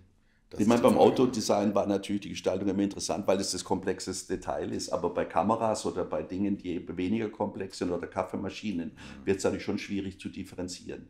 Man will ja differenzieren, um einen höheren Preis zu, zu bekommen. Das, das soll, man designt ja, Firmen designen nicht aus Spaß oder aus Gefallen am Kunden, sondern dass sie differenzieren zum Produkt zum, und, und den Wettbewerbsvorteil haben. Ja? Oder billiger herstellen können oder nicht mehr reparierbar sind, welche Faktoren es auch immer sind. Ja, also, nur natürlich haben wir heute mit, mit 60, 70, 100 chinesischen Firmen und auch eine, eine Profilierung auch der europäischen Marken zur Ausweitung ihrer Produktpalette Tausende von Autos, die sie ja nur noch marginal unterscheiden können, weil je mehr Produkte es gibt, je ähnlicher, gestaltähnlicher das, werden ja, sie auch. Immer ja. mehr im Windkanal, ja. der, der glättet nochmal ja, einiges. Und die Gesetzgebung. Und die Gesetzgebung. Aber auch natürlich der Zeitgeschmack und, und, und heute eben die Möglichkeit, den Auto viel schneller entwerfen zu können, weil es nicht mehr mit der Hand machen muss, wie wir bei Opel, als ich am Anfang erzählt habe, sondern dass du heute durchaus könntest du als Einzeldesigner am Küchentisch wie Michelotti früher. Ja. Ja? Der hat es auch am Küchentisch gemalt. Michelotti hat zu Hause am Küchentisch die Autos entworfen, die berühmt sind für ihn. Ja. Der hatte kein eigenes Studio groß. Ja. Kannst du das auch zu Hause? Könntest du theoretisch. Und beim Heimarbeitsplatz während der Corona-Zeit haben die Designer zu Hause gearbeitet. Ja, also beweist sich, dass es geht. Wie es dann wirklich geht, Umsetzung, Prozess, menschliche Nähe, äh, Umsetzung in Werkstatt oder so. Aber das Horrorszenario wäre, alles geht automatisch, man braucht keinen Mensch mehr. Von der Skizze bis, bis, zum, so, bis, zum, bis zum Prototyp. Bis, ja. Und die Tendenz ist ja willentlich da. Je weniger Menschen da arbeiten, je billiger wird es theoretisch. Nur je weniger Kunden habe ich, die sich das noch kaufen können. Ich wollte gerade sagen, und die Menschen müssen ja irgendwie beschäftigt werden. Es werden immer mehr. Ah, nur Ford hat, nur Henry Ford hat es begriffen. Ja. Er hat gesagt, ich erhöhe den, den, Wohlstand meiner Mitarbeiter, dann können die auch meine Produkte kaufen. Die Produkte wurden immer billiger, von 800 Dollar auf 100 Dollar, glaube ich, ich weiß nicht genau die Zahlen. Und die Mitarbeiter haben immer mehr verdient. Und damit hat er sich äh, seine eigenen Kunden geschaffen. Mhm. Ja. Und das Risiko haben wir in der heutigen Wirtschaftssituation, dass die Gier größer ist als die Vernunft. Da ist was dran. Sie haben noch eine interessante Sache bei VW gemacht. Sie haben nämlich dieses Joint Venture mit koordiniert zwischen VW Charan, Seat Toledo ja. und Ford Galaxy. Gut, Seat, Seat und VW mag sein, ja, aber, ja, aber der Galaxy ist natürlich eine externe Marke. Ja. Sowas macht auch Spaß, oder? Ja, das war auch, das war auch so ein, so ein Peak-Projekt, ja. ja. Also, also habe ich fast ganz vergessen, ja. In dieser Zeit, wo ich da bei Seat dann zurückkam, war ich ja in der Nutzfahrzeug, wo, ging zu Nutz, Volkswagen Nutzfahrzeuge, die gab es aber nicht als einzelne Marke wie heute, sondern das fing dann gerade an, wir waren ausgegliedert in ein Ingenieursbüro, da wurden dann auch die ersten großen Lastwagenhäuser, Kabinen für Brasilien gemacht, ja. Mhm. Und da war Gordon Wagner, war mal Mitarbeiter, der ah, Chefdesigner okay. von ja. Mercedes. Ja, der saß neben mir. Ich kam zurück aus Seat und kam zu Nutzfahrzeugen mit dem Herrn Seidel, der hat alle Transporter T4, T5 und glaube T6 war dann war ich dann dran oder T5. Also und das war dann meine Aufgabe, die T5 als Hauptprojekt. Aber auf Überraschung, Überraschung wie immer, gab wieder ein Nebenprojekt, sowas wie früher. Ja? Hat man hat Designer immer. Also die Zusammenarbeit zwischen Ford und Volkswagen war ja Auto Latina in, äh, in Portugal, gab es ja das Werk, wo mhm. Charan und Galaxy gebaut worden sind und Alhambra. Und Alhambra hatte ich bei, auch beim ersten Projekt mit meiner Radkappe beim Vakus habe ich dieses erste Gesicht, Seat-Gesicht gemacht vom äh, Alhambra. Okay. Das Seat-Gesicht war nichts anderes als das Logo vorne Ja. und hinten eine Angleichung an diesen Hundeknochen von Seat. Also das- der erste Alhambra war ja auch ein Charan Mhm. und man wollte auch die, die Marke natürlich diversifizieren. Ja? Und, und, und Seat wollte eben auch einen Charan haben. Bau, die waren ja alle baugleich, da gab es ja kaum Unterschiede. Gab es Heckleuchte und, und vielleicht äh, Frontgrill oder so, zwischen Ford und so weiter. Also. Aber was damals, äh, was wohl in der Abmachung stand, dass jede Innovation oder Optimierung der Fahrzeuge von Ford und von Volkswagen die Marke jeweils ein Jahr exklusiv hat. Nehmen wir an, Volkswagen baut einen 5-Zylinder Diesel ein mit einem 17-Gang G-Track Getriebe. Gibt's das Dann darf Volkswagen das ein Jahr exklusiv haben, damit sie natürlich für Invest einen, einen, Vorteil haben oder einen, Gegenwert. Blue-Value plus Value. Was? Und dann, und dann wird es vereinheitlicht. Nach einem Jahr darf dann auch der Partner dasselbe benutzen und auch vertreiben. Ja? Und das, so war diese, diese, diese Abmachung. Also ging es um ein Facelift, das erste große Facelift von dem Charan Toledo, der ja sehr generisch optisch war. Wir, Sehr weich gezeigt, sehr feminin von seinen Dings. Aber ein erstes Auto in, in dieser Fanklasse ja, für Europa. Der war ja auch recht erfolgreich. Und, und ich hatte dann, oder war meine Aufgabe war dann, das äh, Facelift von der Volkswagen-Seite zu betreuen. Und von der Ford-Seite war es der Wolfgang Gotschke, der Sohn von Walter Gotschke. Der war bei Ford Designer. Und James Hope, ein Kanadier. Die zwei muss, das Volkswagen-Projekt war dann in Wolfsburg angesiedelt, also nicht in Köln, sondern das Charan, das Werkstatt, Umbau und Design war in Wolfsburg und die Ford-Leute kamen dann und wohnten dann da. Und da hatten wir viel Spaß. Ja, mit Wolfgang kannte ich schon von früher, vom Go-Kart fahren oder von was weiß ich wo. Ja. Der hat im, im, im Art Center studiert und da hatte ich ihn mal auch angeschrieben, als er dort studiert hat, wie es dort ist, weil ich wollte ja auch eventuell ans Art Center und bin dann nach London gekommen, weil das Sponsorship war einfacher, als es selbst zu bezahlen. in. Und habe ich damals schon mit ihm geschrieben, ohne dass ich ihn kannte. Also er war Projektleiter für den Galaxy und ich für den Charan. Und James Hope war der Designer mit dabei. Ja, dann hatten wir die Differenzierungsumfänge festgelegt. Türen blieben ja gleich, aber Heckleuchte und Fronthaube, Kotflügel, Stoßfänger wurde geändert. Und die Volkswagen-Seite halt strenger mit diesem Doppelrund, diesem Einzelrundscheinwerfern, die es auch beim Golf gab, beim Golf 4. Also diese Präzision, diese Vakuuspräzision. Und dann die Heckleuchte auch. Und Dashboard, aber mit dem Dashboard hatte ich persönlich nichts zu tun. Das hatte die, dann die, die Interieurabteilung gemacht von, von mir. Ford hat ein eigenes Interieur gemacht, der Stahltafel und eben Front. Und wir haben zusammengearbeitet. Also wir wussten, was wir machen. Ja, also uns war, äh, war schon, ich kann mich noch erinnern, wir sind dann mal nach, weil diese Ford-Volkswagen-Kooperation zu einem Fußball, Winterkorn war ja Fußballfreak, FC Wolfsburg. Und der Ford-Chef, der war Vorstand vom FC Köln. Ach Gott, das auch noch. Ja, ja, ja, ja, ja. Und dann war, ich weiß nicht, mich hat ja Fußball nie so interessiert, außer wenn ich selbst gespielt habe und meine Knochen hingehalten habe, aber Zuschauen war jetzt nicht so meins. Oder dass ich jetzt einen Club verfolge oder so, ja. Und dann bin ich mit meinem, ich hatte ein Audi Cabrio, das habe ich heute noch, das habe ich dann auch mitgenommen. Ich habe immer meine Autos behalten. Und bin dann auch zu dem Fußballspiel da in das Müngersdorfer Stadion oder das war, ja. Und da war es dann die Ford-Truppe und die Volkswagen-Truppe vereint und hat das Spiel, ich weiß gar nicht, wer gewonnen hat, muss ich ganz ehrlich sagen. Ja. Ich weiß nur, wie ich in die Tiefgarage von diesem Müngersdorfer Stadion oder in die Garage gefahren bin, wo dann der Winterkorn gesagt hat, Mensch, Hildebrand, du fährst ein weiches Auto. Also von der klar, ein offenes Cabrio Cap ist ja, ja weicher als, als sportlich, sportliche und, und präzise Herde, die jetzt eine, eine, Limousine hat. Aber ich hatte immer mein ganzes Leben nur Cabrios gefahren. Ja? Ich okay. immer Cabrios, ja. Und das, das war dann in diesem Projekt. Und das Projekt lief dann. Und dann äh, gab es natürlich immer, wie sind die Differenzierungen? Klar, das, ist ganz, war ja wichtig in, in so einer Wettbewerbssituation, wie man äh, die technischen und Design.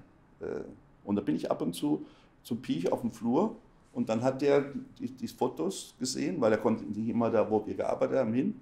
Und dann hat er dann seine Striche gemacht und gesagt, so machen wir das Heckleuchte, weiß ich noch ganz genau, tiefer oder höher. Und dann gab es zum, zum Abschlusstermin, gab es noch äh, mal so ein Gespräch mit den Bereichsleitern oder so, saß ich dann auch als Designer da drin. Und dann hat Piech ganz genau gesagt, welche Kombinationen von Getriebe, Motor und Teilen er will, damit Ford nie sie nicht so schnell nachbauen kann. Der kannte jedes Getriebe, jeden Motor und hat gesagt, und das, in Kassel liegen noch welche. Oder Kassel, so Ersatzteilproduktion. da macht es. Ja? Ja. Und dann auf einmal hieß es ja, die bauen keine Autos mehr in Portugal, La Auto Latina. Setubel oder das ist, glaube ich, war das das Werk. Das war irgendwie, wie heißt es, Liefer Lieferketten. Es gab, ein, es gab gleichzeitig zu diesem Meeting ein Lieferkettenproblem mit Kabelbäumen.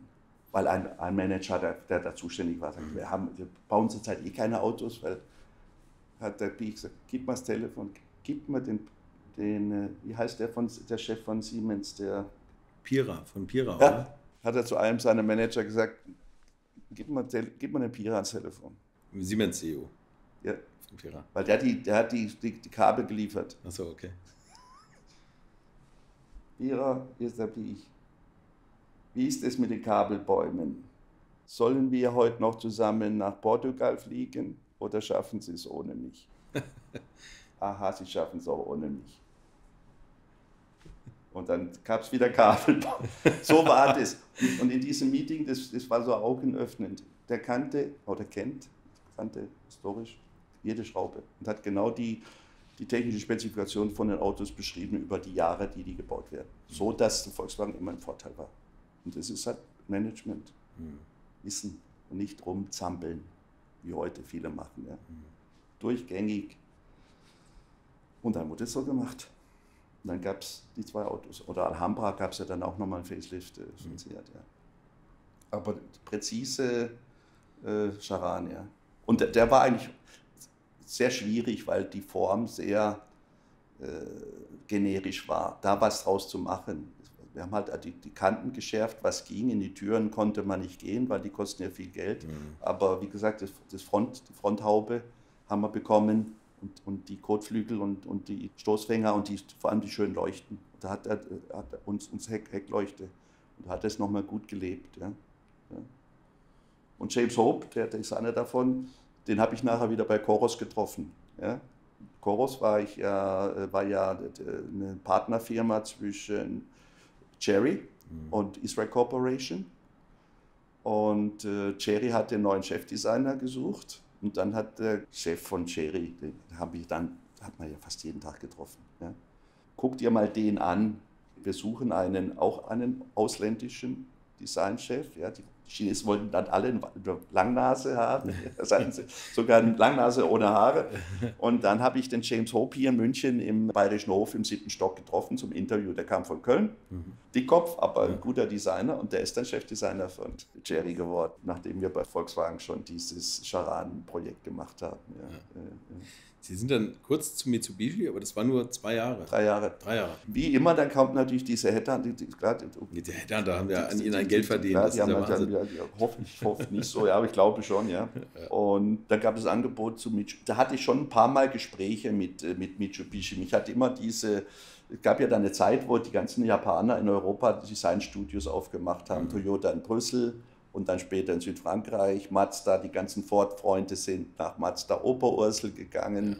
Mitsubishi hatte ja schon lange eins, da kannte ich auch gut den Pressesprecher von Mitsubishi damals, mit dem habe ich Segelflug gemacht. Ja? Also so war die Szene klein und dann kam dieses Angebot von einem Headhunter, bin ich dahin gegangen und da ist, glaube ich, gerade der Chefdesigner, der, der, die Langnase ist da gegangen. Die Japaner waren ja noch da. Meins kannte ich ja, konnte wieder in meine alte Wohnung. Die, die Heike kannte ich noch. Und dann habe ich dann dreieinhalb Jahre äh, oder so, ich weiß gar nicht, wie, wie lange das war, war ich bei, bei Mitsubishi. Und die hatten ja das Netcar-Werk Und mit Pininfarina haben, sie, haben wir den, den einen Jeep gemacht, den kleinen. Ja? Das waren die Aufgaben. Und das war praktisch das europäische Büro für japanische Entwicklung. Die Entwicklungen wurden halt in, wurden in Japan gemacht. Charisma, mhm. Facelift, wurde vor meiner Zeit gemacht, was eigentlich ein schönes Auto war. Und Volvo und, und Mitsubishi haben ja dann in Helmond selbe Werk betrieben, war ich oft dort. Und bei Lieferanten natürlich alles, was hier umgebaut worden ist. Aber das waren eher Autos für den europäischen Markt? Nur, nur Autos für den europäischen Markt. Ich glaube schon, ich habe nicht nie exportiert. Ja. Weil die haben ja japanische Produkte gehabt. Das weiß ich nicht, Rechtslenker, ob sie Rechtslenker, Linkslenker äh, unterschiedlich. Die haben ja auch nur den, den Charisma gebaut mhm. ja, in Europa. Da wurde ja nicht mehr gebaut größere Sachen. Galant und so kamen ja aus Japan. Aus Japan. Ja. Aber interessant ist, dass in Helmut haben wir später, wurde später der Mini gebaut, also im selben Werk, wo wir den Charisma gebaut haben, wurde dann der, ich glaube, Mini Countryman gebaut. Ah, okay. Jetzt später. Aber da war ich schon weg. Äh, war ja noch, ist ja ein Staatsunternehmen, das, das, das Helmut ist ja staatlich äh, finanziert, dass Holland auch eine Autoproduktion hat, nachdem DAF ja ausgefallen ist einmal als Autoproduzent und die Lastwagenmarke wurde ja auch nach Amerika verkauft. Gibt es noch aber in Eindhoven oder wo die sitzen. Und äh, dann war ich dort und da haben wir Vorschläge gemacht für Galant und für Colt. Colt war ja recht erfolgreich, da gab es auch immer sch schöne und hässliche, ja, sag ich mal. Ja, vor allem gab es immer sehr unterschiedliche. Das war, ich habe das also, ja mit den Japanern besprochen. Ja. Und die haben gesagt, ja, wir können immer eins gut und dann machen wir ein schlechtes. Machen wir gutes, also nicht schlecht, aber anders. Ja, das heißt, genau. man hält das nicht so bei wie Golf zum Beispiel. Können, ne? Nein, es, es, ist nicht die, die chinesisch-japanische, asiatische Kultur, ist es nicht. Ja. Diese Historisch, ist dieser Historismus, ja. dass man praktisch kontinuierlich evolutionären Produkt entwickelt. Für diesen Auto nur ein Produkt. Beim Galant gab es zwei Autos, das, die haben Nakanishi gemacht, das war dann mein Chef danach. Äh, der hat den Galant gemacht, den ich auch, der so wie ein BMW aussah. Ja. Und der Vorgänger, Galant, der Nachfolger, die waren, die waren sich ähnlich. Also da konnte man eine Evolution sehen. Aber es war meiner Meinung nach das ein. Pacero oder so wurde auch nicht viel weitergeführt, obwohl das Pacero ja praktisch ein, ein, ein, eine ikonenhaft führende, führendes ja. Pacero steht ja für eine Produktkategorie. Ja. Die Geländewagen, also ja, diese genau, ja. Toyota Land Cruiser. Ja, aber ich hatte Pajero war Pferdehändler und was weiß ich alles. Ja, was, gut, aber auch die gibt es ja noch. Aber man hat es aufgegeben, stimmt. An den Sachen habe ich dort gearbeitet. Und was natürlich die Aufgabe dann für den Europachef war, wobei es natürlich, deshalb wurde es da hauptsächlich eingestellt, nach Japan zu fliegen, die dortigen Entwürfe zu bewerten, hm. die für den Weltmarkt sind. Hm. Warum? Asiatische und hauptsächlich japanische Kultur ist keine Streit- und Kritikkultur. Das heißt, da kann kein Vorstand sagen, es gefällt mir nicht. Dann müsste er ja praktisch den Designchef entlassen. Sondern da nutzt man Leute, hat man Leute genutzt, so wie mich. Ich durfte ja mir hatte man jede Kritik erlaubt, weil das sind ja die bösen Weißen, sind ja so aggressiv. Die sagen, das sieht scheiße aus oder das sieht gut aus oder ich möchte das oder das oder das. Also das war also ein, einer meiner Haupttätigkeiten in Japan, nicht zu entwerfen dort, sondern die dortigen Projekte zu betrachten, zu beurteilen. Keine Gegenvorschläge zu machen, weil das hätte dann der Designerchef vielleicht das Gesicht gekostet. Ja. Also nicht gerade, was meinem Charakter entspricht, politisch korrekt durch die Welt zu laufen. Ja. Aber das war im Prinzip, äh, das, die, der hat die meiste Arbeit äh, äh, bezogen. Wir haben immer Entwürfe gemacht, die wurden dann auch mit eingebaut dort. Aber immer so, dass ich nicht im Konflikt war mit mir selbst. Mhm. Ja? Dass ich nicht in eine Auswahl oder in eine Kritik fallen müsste, wo meine oder unsere, die, die nicht meine, sondern die, hat ja Mitarbeiter, gute war ein super Team. Und dann natürlich auch die ganze Farbgestaltung, Grafikgestaltung, Felgen. Viele Mitsubishis wurden ja Harbor-Bild. Die sind dann von Japan nach, nach Bremerhaven gekommen und dort wurden sie komplett umgebaut. Mhm. Auf Felgen, auf Stoßfänger und auf Sportpakete. Das heißt, das haben entweder wir entworfen oder die hat die Marketing- und Verkaufsabteilung, die dort einen sehr starken Rang hatte, die haben, haben die spezifiziert. Die wussten ja, welche Autos sie wo verkaufen konnten Und so gab es relativ schöne Mitsubishi, der Galant, ich fuhr einen Galant Kombi, der so einen Fünfer ähnlich sah, weil Nakanishi einen Fünfer BMW mochte. Der hat heute immer, ich bin ja noch in Kontakt mit ihm in Facebook. Und dann wurden die umgebaut. Da wurde halt dann viel weggeschmissen. Verschrottet. Ich meine, die kamen mit Rädern aus Japan mhm. und die Felgen kamen, Polman Design, weiß ich, Designbüros, die man kennt, haben dann diese Anbausätze gemacht. Stoßfänger weg, neuer drauf. Also aufwendig, ja. aber halt äh, marktspezifisch. Okay. Ja? Und so war mein, mein Umfeld von Mitsubishi. Und dann war ich mal in, hatte ich auch ein Jobangebot von Johnson Controls, auch wieder Headhunter. Das ist, äh, man sollte mit denen gar nicht sprechen. da geht man nicht fremd. Für Johnson Controls. Und ich war auf dem Genfer Salon mit meinen japanischen Kollegen. Und da kamen dann auch japanische Kollegen von Japan, von Büro, vom Hauptquarter, und es waren dann viele. Und die wurden dann, führt, dann laufen die in Gruppen durch die Messe und gucken sich alles an nach Plan. Also organisiert wie jedes Produkt wird da gezeichnet. Und das ist ja gar nicht meins. Diese Umzüge, auch Mercedes hat es sehr stark gemacht. Sacco lief vorher und die Vorstände hinterher und dann hat er denen die Autos erklärt. Das habe ich so bei anderen Marken ich persönlich nicht erlebt. Das wollte, ich weiß jetzt auch nicht warum, aber das war dort bei Mitsubishi so. Ja. Auf jeden Fall waren wir da im Hotel, Hotel Moritz oder so, direkt am Café de Paris. Es hat geschifft und geregnet. Und dann hieß es, wir gehen Abendessen. Nichts reserviert. Zwölf oder dreizehn Kollegen aus Trepur und, und Japan. Da dachte ich, Hildeband, Hildeband. Wenn du jetzt da losgehst, musst du ein Restaurant suchen. In Genf am Pressetag, aussichtslos. Und dann läufst du durch den Regen. Ich bin runter, habe mich entschuldigt, mir geht es nicht gut. Ich bleibe im Hotel. Die finden, nee, was nee, ist das, Da habe ich keine Angst gehabt. Ich habe mir also nicht schlecht gefühlt. Bin aufs Zimmer, habe Fernseher angeschaltet, raus das Geschichten. Aber Hunger hast du doch. Hunger hast du doch runtergegangen. Das Café de Paris war ja der Platz, wo man sich in Genf getroffen hat, ja, jedes Jahr lang, wo die Designer saßen, wo, man, wo es nur ein Essen gibt. Äh, Entrecot, Café de Paris mit Pommes. Ja. War voll. Und war auch keiner drin, den ich kannte, wo ich mich dazu hätte quetschen können. Und dann bin ich weitergelaufen, dann war da ein, ein mexikanisches Lokal. Äh, es ist zwar kulturbanausig, in Genf mexikanisch zu essen, aber da bin ich dann rein. Da saß Chris Bengel. Allein am Tisch, hatte schon gegessen, Tisch war abgeräumt, wir haben gesagt, ja. Und wir kannten uns ja, von, wir kannten uns ja schon lange. Ja, eben, genau, ja. Dann habe ich gesagt, Chris, ich habe ein Angebot von Johnson Controls, das mit Mitsubishi, dann bin ich wieder in Düsseldorf. Also der Vorteil wäre gewesen, ich hatte eine Freundin in Düsseldorf, ich hatte eine Wohnung, ich hatte einen Sohn, Johnson Controls ist um die Ecke, Geld ist dann egal, ist dann, war eh gut. Ja. Beim Lieferanten war ich ja schon mal. Was meinst du? Also als Freund, als Klasse. Er sagte, Gerd, du brauchst nicht zu Johnson Controls. Wir haben einen Job für dich. Wir suchen was für Mini. Mini holen wir zurück nach München.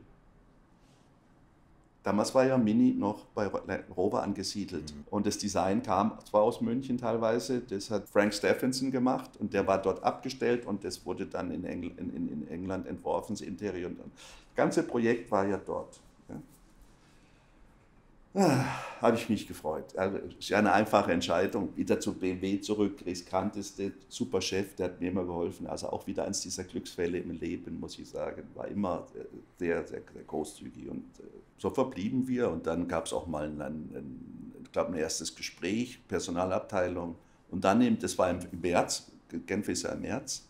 Und im Juni schalte ich das Fernseher an. Rover wurde verkauft. BMW trennt sich von allen Rover-Marken, auch Mini. Also Job weg. Mhm. Und das hat der Chris auch gesagt, jetzt haben wir den Mini verkauft, jetzt brauchen wir dich ja nicht mehr. Ja, ja das ist halt so, ich hatte ja einen Job. Und dann, glaube ich, drei oder vier Wochen später wurde, war wieder Nachrichten. Ja. Ich habe damals noch Nachrichten geguckt, heute lasse ich das lieber. Rover wurde für 1 Euro verkauft, aber die Marke Mini wird behalten. Als Job. aber ich hatte schon bei Johnson Controls unterschrieben und gearbeitet. Da hatten Sie schon unterschrieben? Ja, ja. klar, weil der Job war ja weg. Ja. Aber das war die Zwischenzeit, waren zwei Drei, ja, das war nicht, das war drei, vier Monate. Ja, so, aber ich okay, hatte schon okay. unterschrieben, war schon da. Also, shit. Also, Chris hat, der Job war wieder da, ich habe auch mit Chris gesprochen, gab auch die mit Personalabteilung und so. Aber ich war dann dort und war natürlich hin und her gerissen. Und dann bin ich eines Morgens zur Arbeit gefahren. Ich weiß noch wie heute. Habe ihn Chris angerufen. Ist der Job noch da? Er sagt, bis morgen. Ja, der wollte natürlich auch nicht so hin und her wackeln mit mir. Ja, verständlich, klar. Bis morgen. Ich bin zur Arbeit gefahren, habe eine Reise gebucht nach München für den nächsten Tag und war um neun Personalbüro und unterschrieben und dann war ich. Ja, das, die Härten gibt es natürlich auch, also diese Unwägbarkeiten des Lebens. Pech, Glück und Glück und Pech, also alles zusammen. Ja. Und dann fing, glaube ich, am 1. Januar 2000. Und genau das neue Jahrtausend fing mit, mit Mini an. Und zwar nicht in München, sondern es war die Detroit Motor Show, wo der Mini für Amerika vorgestellt worden ist. Und ich bin dann am 7. Januar 2000 von Düsseldorf direkt nach Detroit geflogen. Das war mein erster Arbeitstag bei BMW. War nicht in München, sondern war in Detroit. Ja. Koffer weg. Alles, was in, in, in Detroit so passiert, wenn es schneit und alle. Also ich nur in Jeans und Pullover stinkig da waren. Und da war Kalbfeld noch bei, bei BMW. Und da sagte Gerd oder Hildebrand, damals haben wir uns noch nicht geduzt am ersten Tag, ja, kauf dir was. Wir zahlen dir das. Ja. Und dann bin ich da äh, im Renaissance Center in so einen Laden gegangen und habe mir Zula noch Kürz und so. Machen das in Amerika, ist es ja einfacher mit Ja. Kürzen, machen ja alle. Und dann hatte ich einen Anzug. Und dann war ich bei BMW. Ja. So, so eine ganz und- gehen. und- Aber der Mini war schon fertig designt. Der Sie waren, ja, ja. General Manager Mini Design.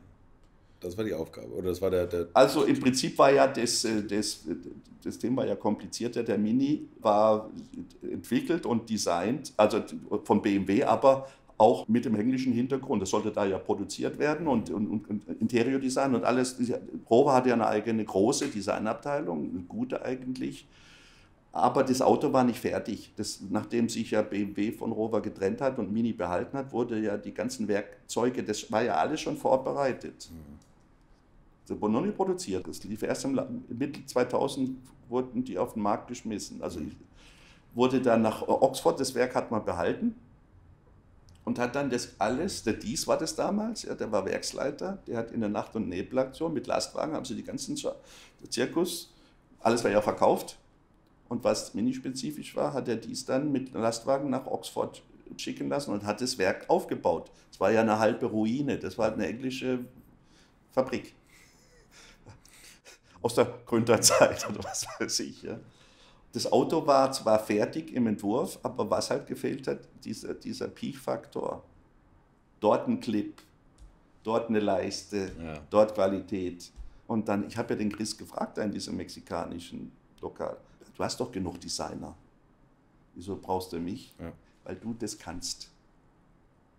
Dieses tiefer gehen, an, also, dass da noch ein Clip hingehört und dass da noch Ja, eine okay. Verbindung hingehört und Ja. du siehst, ob der Linie läuft oder äh, machst das noch und ich habe anderes zu tun. Ich brauche jemanden, der das macht.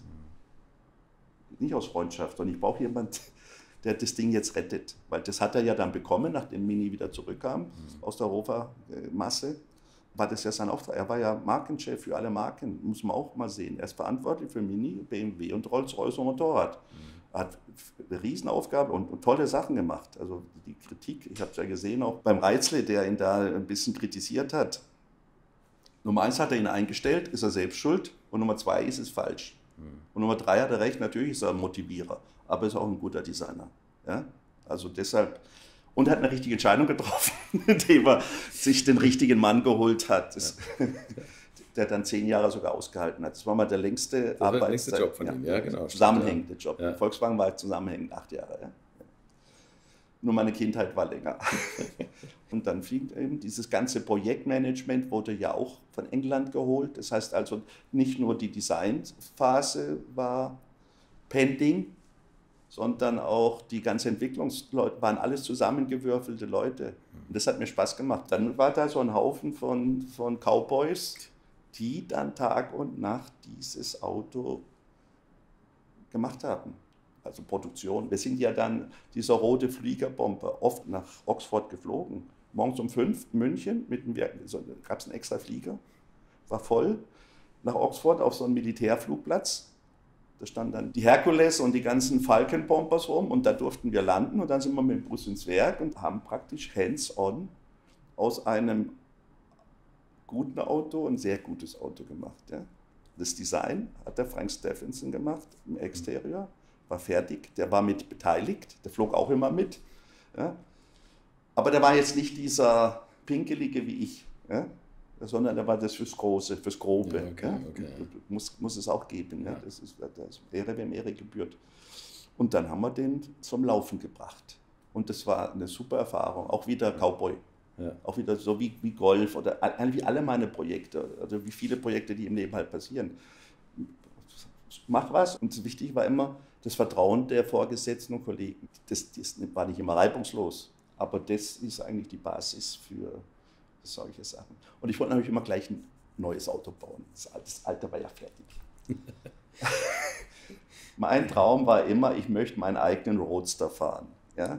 Englische Autos sind eigentlich zweisitzig und offen. Ja. ja?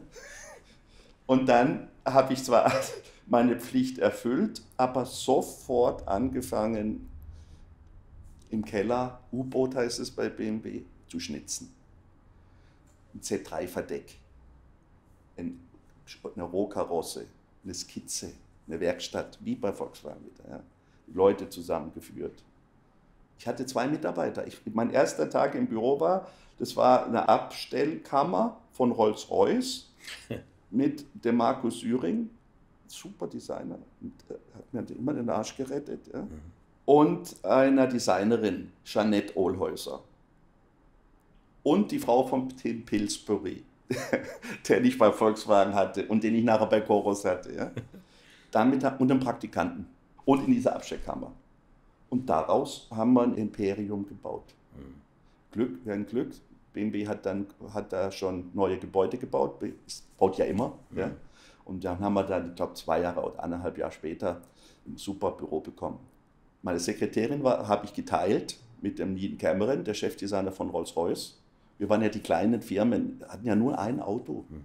Also ein Mini und ein Rolls-Royce. Ja, Rolls ja? genau, ja. Und da reicht eine Sekretärin. Ja, Frau Limmer hieß die, glaube ich. Ja? Und das haben wir, dann haben wir angefangen. Und dann sofort angefangen mit dem Roadster. Ja? Roadster braucht man nicht. Wir haben ja einen Z3. Der Z4 kam wir dann irgendwann. Ja. Dieser Mini-Roadster hat mich zehn Jahre lang begleitet. mit Tränen hoch und tiefs. Und wurde danach gebaut, als ich ging. Dann kam er. Ja. Aber der Mini, ich meine, das ist die Marke, was, wenn Sie gerade sagen, es, es, fing mit einem Modell an, ja. dem Mini, ja. wie Sie das ausdehnen konnten. Ne? Und das ist ja also Paceman, Clubman, äh, Coupé, Das alles im Roadster. Keller, alles war, was wir gebaut haben. Countryman. Da, da war kein Programm. Nee, das war einfach. Also ist alles, was heißt, natürlich gibt es immer. Also man muss sich nicht vorstellen, dass eine Industrie draußen Pläne hat, hm. aber immer andere bekommt weil die, die Umstände ändern sich. Mhm. Die Leute, die an der Verantwortung sind, Vorstände ändern sich, Marketing ändert sich, Kunde ändert sich, Corona kommt, mhm. Klima kommt, was weiß ich. Ja? ja Wichtig war ja, man wollte den Mini haben, deshalb hat man ihn aus der Rover-Masse rausgeholt, auch um ein Frontantriebsauto im Paket zu haben und natürlich auch um die CO2-Vorschriften, die immer strenger wurden, als genau. Flottenverbrauch ja. zu haben. Also war das einfach schon mal eine strategische Entscheidung. Und dann natürlich hat man gehofft auf normale Zuwächse, was weiß ich, wie bei BMW sind dann auch 1,6 Millionen oder was Jahresproduktion. Damals waren wir bei 800.000. Davon waren 300.000 Minis geplant, wurden noch nicht gebaut. Und es gibt halt für gewisse Autos nur eine gewisse Anzahl von Kunden. Gewisse Autos kannst du nicht beliebig ausdehnen. Da musst du es halt über Differenzierung machen von Produkten und in andere Segmente gehen. Ja. Und meine Idee war halt immer der, der Roadster Zweisitzer. Da wurde ich immer mit aufgezogen. Auf dem Flur von Marketingleuten ist dein Roadster schon fertig. Was macht dein Roadster? Hast du einen Roadster schon verkauft? Ja. Aber wir hatten einen. Also wir haben einen gebaut, auch heimlich. Hinterwerk. Also Chris hat es dann gewusst. Ja. Der hat ja auch, der hat ja auch äh, Budget oder so. Ja. Aber wenn du dort in so einer Firma bist, sind ja viele Dinge eh da. Die Werkstatt ist ja, da, klar. die Teile sind da. Ja. Leute, die was machen wollen, wollen, die Leute wollen ja generell arbeiten. Wenn einer eine Idee hat, ist besser, als wenn einer keine hat, also helfen wir ihm. Und so haben wir das erste geworden, auf der Basis vom ersten. Aber dann kam dann das Mini Caprio Projekt. Es gab diesen Dachhersteller, der diese Idee hatte von diesem Faltdach mit dem Schiebedach, Schiebedach kombiniert. Ja, genau, ja. Ich weiß jetzt nicht, wer dieses Konzept hatte. Und möglicherweise hat der dieses Verdeck allen anderen Autoherstellern auch angeboten. Aber es hatten viele schon Verdecke, Cabrios. Und es war kompliziert. Das Verdeck ist ja hochkomplex. Ja, klar. Vom Kosten und von. Ja. Aber hat natürlich einen Unique Selling Point, diese Schiebedachfunktion mhm.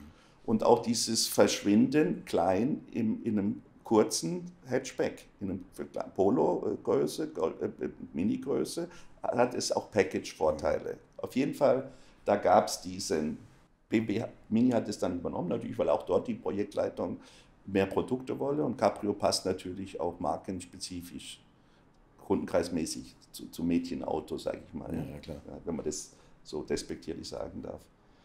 Und dann gab es dieses Auto, das gab dann als Prototyp und das hatte einen Überrollbügel. Also es gab ein Auto, das wurde gebaut, aus, äh, gebastelt von einem Hersteller, von diesem Verdeck und zusammen wahrscheinlich mit der Entwicklungsabteilung von BMW. Und dann gab es eine Testfahrt in Aschheim, Testgelände. Und ich kannte das Auto ja schon. Und nachdem ich ja schon äh, die Sache mit dem Golf Henkel Cabrio hatte, weil ich ja einen Käfer gekauft habe und keinen Henkel gehabt, war ich schon wieder. Ja? Und dann bin ich nach Düsseldorf gefahren, wo ich ja meine Wohnung hatte, und habe mein Cabrio, Käfer Cabrio geholt zur Testfahrt. Es war eine Vergleichsfahrt mit allen Cabrios in der Klasse, ja. was es da gab, Peugeot.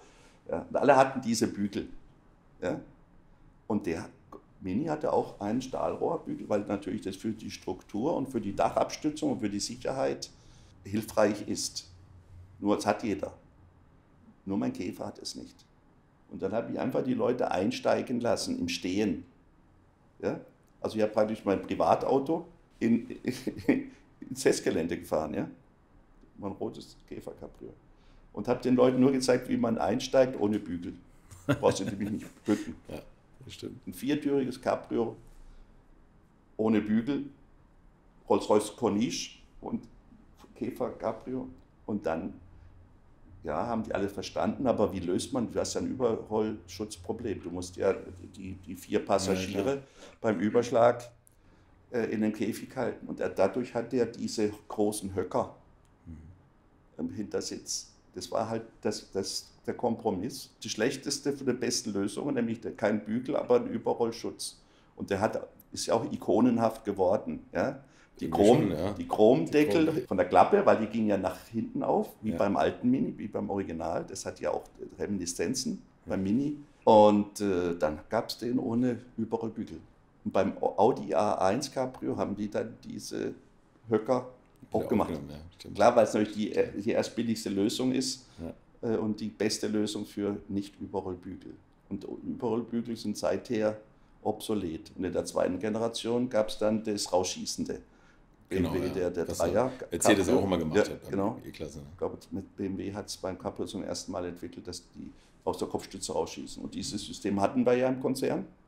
Group heißt es ja. Mhm. Konzern ist Volkswagen Group, ist BMW die rausschießenden Heckstützen. Dadurch konntest du die Bügel hinten in den Kopfstützen versenken, kleiner machen. Und dann hast du dieselbe Lösung. Okay. Ja. Und es gibt schon drei. Und die nächste Generation hat das ja auch. Den hat meine Tochter. Wer hätte das gedacht, dass ihr Käfer Cabrio dafür sorgt, dass der Mini keinen Bügel hatte? Ich weiß nicht, Oder vielleicht die, die, die Sigonis und Porsche ja. waren ja Kontrahenten auch in den Konzepten. Ja. Ja, die haben Stimmt, ja, ja genau zwei unterschiedliche Konzepte äh, gemacht und sich da auch bekriegt im geistigen Sinne. Ja? Weil es beides war ja, waren ja Ideologen, Technologie-Ideologen. Und das hat eigentlich diese charaktervollen Autos möglich gemacht. Denn ohne Ideologie kein Charakter. Ja. Der Roadster kam dann am Ende, nachdem wir drei Generationen entworfen haben, Dasselbe war ja dann auch mit äh, Countryman und der Clubman war noch eine interessante Geschichte. Wir hatten den Mini 2, den zweite Generation dann fertig und da hatten wir drei Modelle. Hatten wir Modelle übrig, weil wir hatten ja dann Varianten angeboten für die Vorstände. Ja? Mhm. Und dann habe ich gesagt, wir brauchen einen Kombi. Und der Markus Süring hat dann den ersten Clubman entworfen. Ja, haben ein einfach historisches Heck, verlängert, Heck ja, verlängert und die ja. Klapptüren hinten dran und Ratsch verstanden. Und als wir dann die Vorstandspräsentation hatten für die Gesichter, wir hatten drei, One Cooper Cooper S Gesichter. Mhm. Dafür hat man drei Modelle. Aber hinten waren die alle gleich. Mhm. Aber bei einem haben wir diesen Klappman dran gebastelt, nebenher. Und dann haben wir abgedeckt. In der Psychologie, wenn du was abdeckst, heben die Leute es auf. Und der Kalbfell war so neugierig, und da habe ich mich gut verstanden, ist leider auch bei einem Motorradunglück gestorben. Ja. Was ist denn das? Das machen wir. So schnell, wie der Clubman entschieden worden ist, ist mir noch nie ein Auto durchgerutscht. Mhm. Bei dem Rotzler habe ich dann zehn Jahre ge ge gelitten und der hat das Auto gesehen und da kam der Clubman. Der wurde dann verlängert, dass man, man hat auch dann ein größeres Auto gehabt mhm. und diese Tür Patent, kriege ich heute noch Geld dafür, weil es beim i3 auch dieselbe Tür gibt. Ja. Dieses Auf nein, hinten, nein, die Seitentür. Achso, das, das, das Ding, diese Komforteinstieg. Ja, ne? ja, ja Komforteinstieg, ja, genau. weil die, man muss in der Tür tanken, das Auto durfte ja nichts kosten. Ja. Das teuerste war die Tür. Und die, die, die Leuchten und die Scharniere da hinten. Ja. Aber sonst war das ja vorne gleich. Ja. Also das schönste Auto, muss ich ganz sagen. Ja. Countryman haben wir dann auch gemacht, war dann auf einmal eine, eine Kooperation mit Peugeot wollte man zuerst haben. Da blieb dann auch der Motor hängen für den Countryman. Und das war eigentlich auch, äh, ist meiner Meinung nach das schönste Auto, das ich gemacht habe, wenn ich das heute sehe. So einen weißen oder silbernen Countryman, noch super geputzt, mhm. als äh, Vierradantrieb und Cooper S. Das war dann die viertürige, die, der Sündenfall von Mini praktisch, weil ja. es gab ja noch nie viertürige. Ja, genau. Und ein Riesenauto damals, optisch, wenn man es neben andere kleine Autos Heute ist es ein kleines Auto. Heute fällt es nicht mehr auf. Ja, also und das war auch eine super Zusammenarbeit mit Magna, wurde ja bei Magna entwickelt. Wir haben auch bei Chucharo dann äh, den Clubman, äh, technische Entwicklung. Man hat, wir haben sehr viel extern gearbeitet, effizient. Zwar auf Kosten der Reisetätigkeit der einzelnen Mitarbeiter, aber doch äh, effizient, wo Kapazitäten waren. Damals gab es ja nicht so viel übermäßige Kapazitäten in den Firmen. Wie finden Sie das denn, dass der Mini von Generation zu Generation wieder größer wird? Hätten Sie den gerne so klein noch weiter? Also es, es, ist leider, es ist ja, ist ja leider eine, eine, bei allen Fahrzeugen passiert, auch beim Golf oder so. Ja, ja. Wenn du heute einen Golf 3 siehst, der war, der war ja schon groß gegenüber dem Golf 1. Was für ein kleines Auto ist der auf der Autobahn? Da kriegst du Angst, dass der einer tot fährt oder drüber fährt, drüber rollt. Ja ist scheinbar eine, eine, natürliche Entwicklung, weil die Gesetze und die Ansprüche und die Komponenten äh, und die Ansprüche von den Kunden wachsen und die gesetzlichen Vorgaben wachsen. Und Marketing sagt, das Auto muss immer fünf Zentimeter größer sein als Vorgänger. Das ist natürlich falsch. Man könnte auch mal sagen, es muss mal fünf, machen jetzt dasselbe Auto, aber fünf Zentimeter kleiner und bieten dir weniger Gewicht und weniger genau. Garagenplatz. Ja. Und selbst wenn ich heute mit einem 1er BMW parke, ist in einem Parkhaus, die Parkplatz ist ja viel zu klein schon. Ja? Also du kannst ja mit Autos gar nicht mehr in Tiefgaragen fahren. Ja? Das war eigentlich äh, diese Geschichte der Countryman. Und das ist so groß, ja, da kann ich jetzt meine eigene Meinung haben, aber sie hilft nicht. Sie sind halt jetzt so groß. Ja? Mhm. Wir hatten ja mit dem, mit dem Spaceman oder so einen kleinen Mini nochmal gemacht. Das war auch eines meiner letzten Projekte. Mhm. Ja? Dass man nochmal einen kleinen Mini macht, 3,55 Meter. Das ist ungefähr die kleinste Größe, die ein Auto haben muss, dass man vier Sitze und technisch unterbringt. Wird heute schwierig, Elekt Batterien brauchen viel Platz. Deshalb, die, die Autos werden so groß, weil man von der Batterieleistung ausgeht. Ja, okay. Ja, also kleine Batterieautos fahren halt nicht weit. Und dann noch diese ganze Crash-Strukturgeschichte. Ne? Ja, das kommt dazu, aber, aber meiner Meinung nach ist der wichtigste Entwicklungs- Grund, der negative Entwicklungsgrund, dass die Autos so groß sind. IDs, die IDs oder auch die Mini vielleicht, ja, oder eigentlich alle Autos, weil die alle jetzt für Batterie ausgelegt werden und wahrscheinlich für 500 oder 600 Kilometer Reichweite. Dann kannst du das ganz einfach ausrechnen, wie groß eine Batterie sein muss. Breite Höhe, Leistung und dann hast du die großen Autos. Und das Gewicht. Natürlich, die Batterien sind auch schwer, mhm. weil die werden nie leer. Ein Tank wird irgendwann mal leer. Und 40 Liter in einem großen, kleinen oder mittleren Auto sind 40 Liter. und dann kann der überall gleich hinfahren. Aber ich glaube, der Treiber für diese übergroßen Autos und dann auch Reifen ist die Last, die Größe der Batterien, die Leistung der Batterien. Und das bestimmt die Größe der Autos und nicht der Wunsch des Kunden nach einem kleinen Auto, wie ein Yaris oder ein Up, Volkswagen Up, ein Superauto. Ja, Wird ein alles Smart, wegsterben. Der kleine Smart. Ja, smart, ein genau. Ja, ne? ja, ja. Also das sind, sind die Gründe, wieso die Autos so groß werden. Und, dann natürlich auch Marken, ich glaube, Mini und BMW 1er teilen sich heute auch Plattformen. Ich Ja, fahre ja, fahr ja ein Mini, äh, ich fahre ja ein Mini, obwohl ich einen BMW 1er fahre, ja, weil die Antriebsstrang wird der gleiche sein. Ja, Ja, ja. genau. Aber lange Rede, kurzer Sinn, nochmal zum Roadster, das ist mein Lieblingsprojekt. Dann am Ende ist er doch gekommen, weil irgendwann brauchte Oxford Stückzahlen. Wir brauchten 120.000 Autos, weil Produzierer oder Werksleiter sagen, ich habe die Kapazitäten, das muss ich bauen, Ja. aber die, die Stückzahl von einem alten Auto nimmt man euch ab. Wir müssen da noch eine Lücke füllen. Und da war dann meine Lücke. Nach zehn Jahren war da die Lücke, wie kriege ich geschafft? 120.000 Autos? Und dann, der hat aber keine 120.000 Autos gebracht, weil das ist ja ein Nischenmarkt. Ja. Dann machen wir halt ein Coupé und ein Roadster. Selbe Auto, das ist dasselbe Auto mit Dach und ohne Dach. Und das Verdeck haben wir ja schon. Ja, Und so kam so kam Dieses-. Auto nochmal zu, zu Geltung. Ich habe immer noch keins.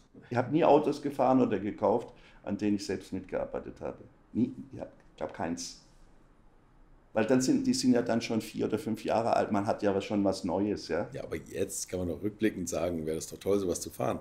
Ja, Oder? aber ich habe zwei Käfer. Ja, ja, gut, das stimmt. Ich habe einen Audi Ja. 80, also Konzernautos. Ich habe einen 1er BMW als Dienstwagen und ein Cabrio für meine Tochter. Und mein Sohn fährt auch ein Mini und die Mutter fährt ein Mini und die Mutter von der Tochter. Also wir haben so viele Autos zu Hause. Also nicht, Dann ich, ich, nicht, Okay. also Nein, ich brauche keine Autos, ich muss das nicht in, in Massen haben.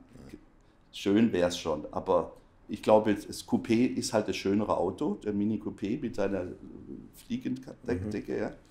Aber äh, wo soll es? Nein, ich kann ja meine Autos gar nicht fahren. Das ist ja, Ja, das muss, muss das nicht sein. ja. Besitz macht es nicht unbedingt glücklich. Ja. Das, wenn ich sie sehe, bin ich immer froh zu haben. das ja, stimmt.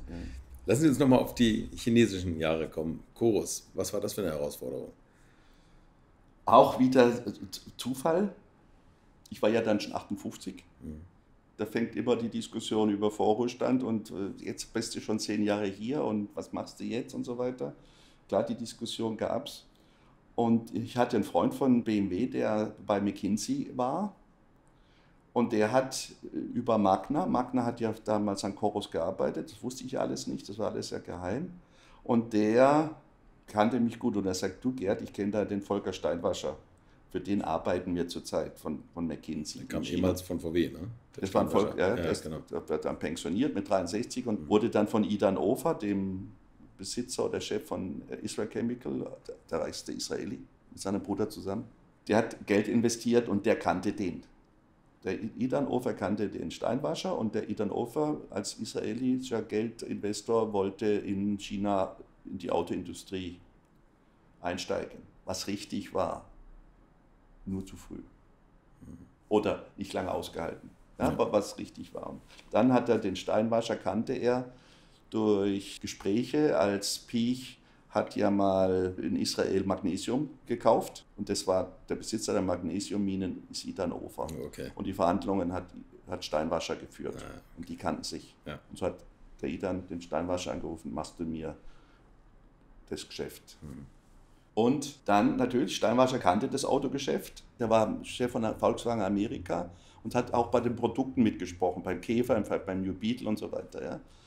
Also hat sich das wiederholt.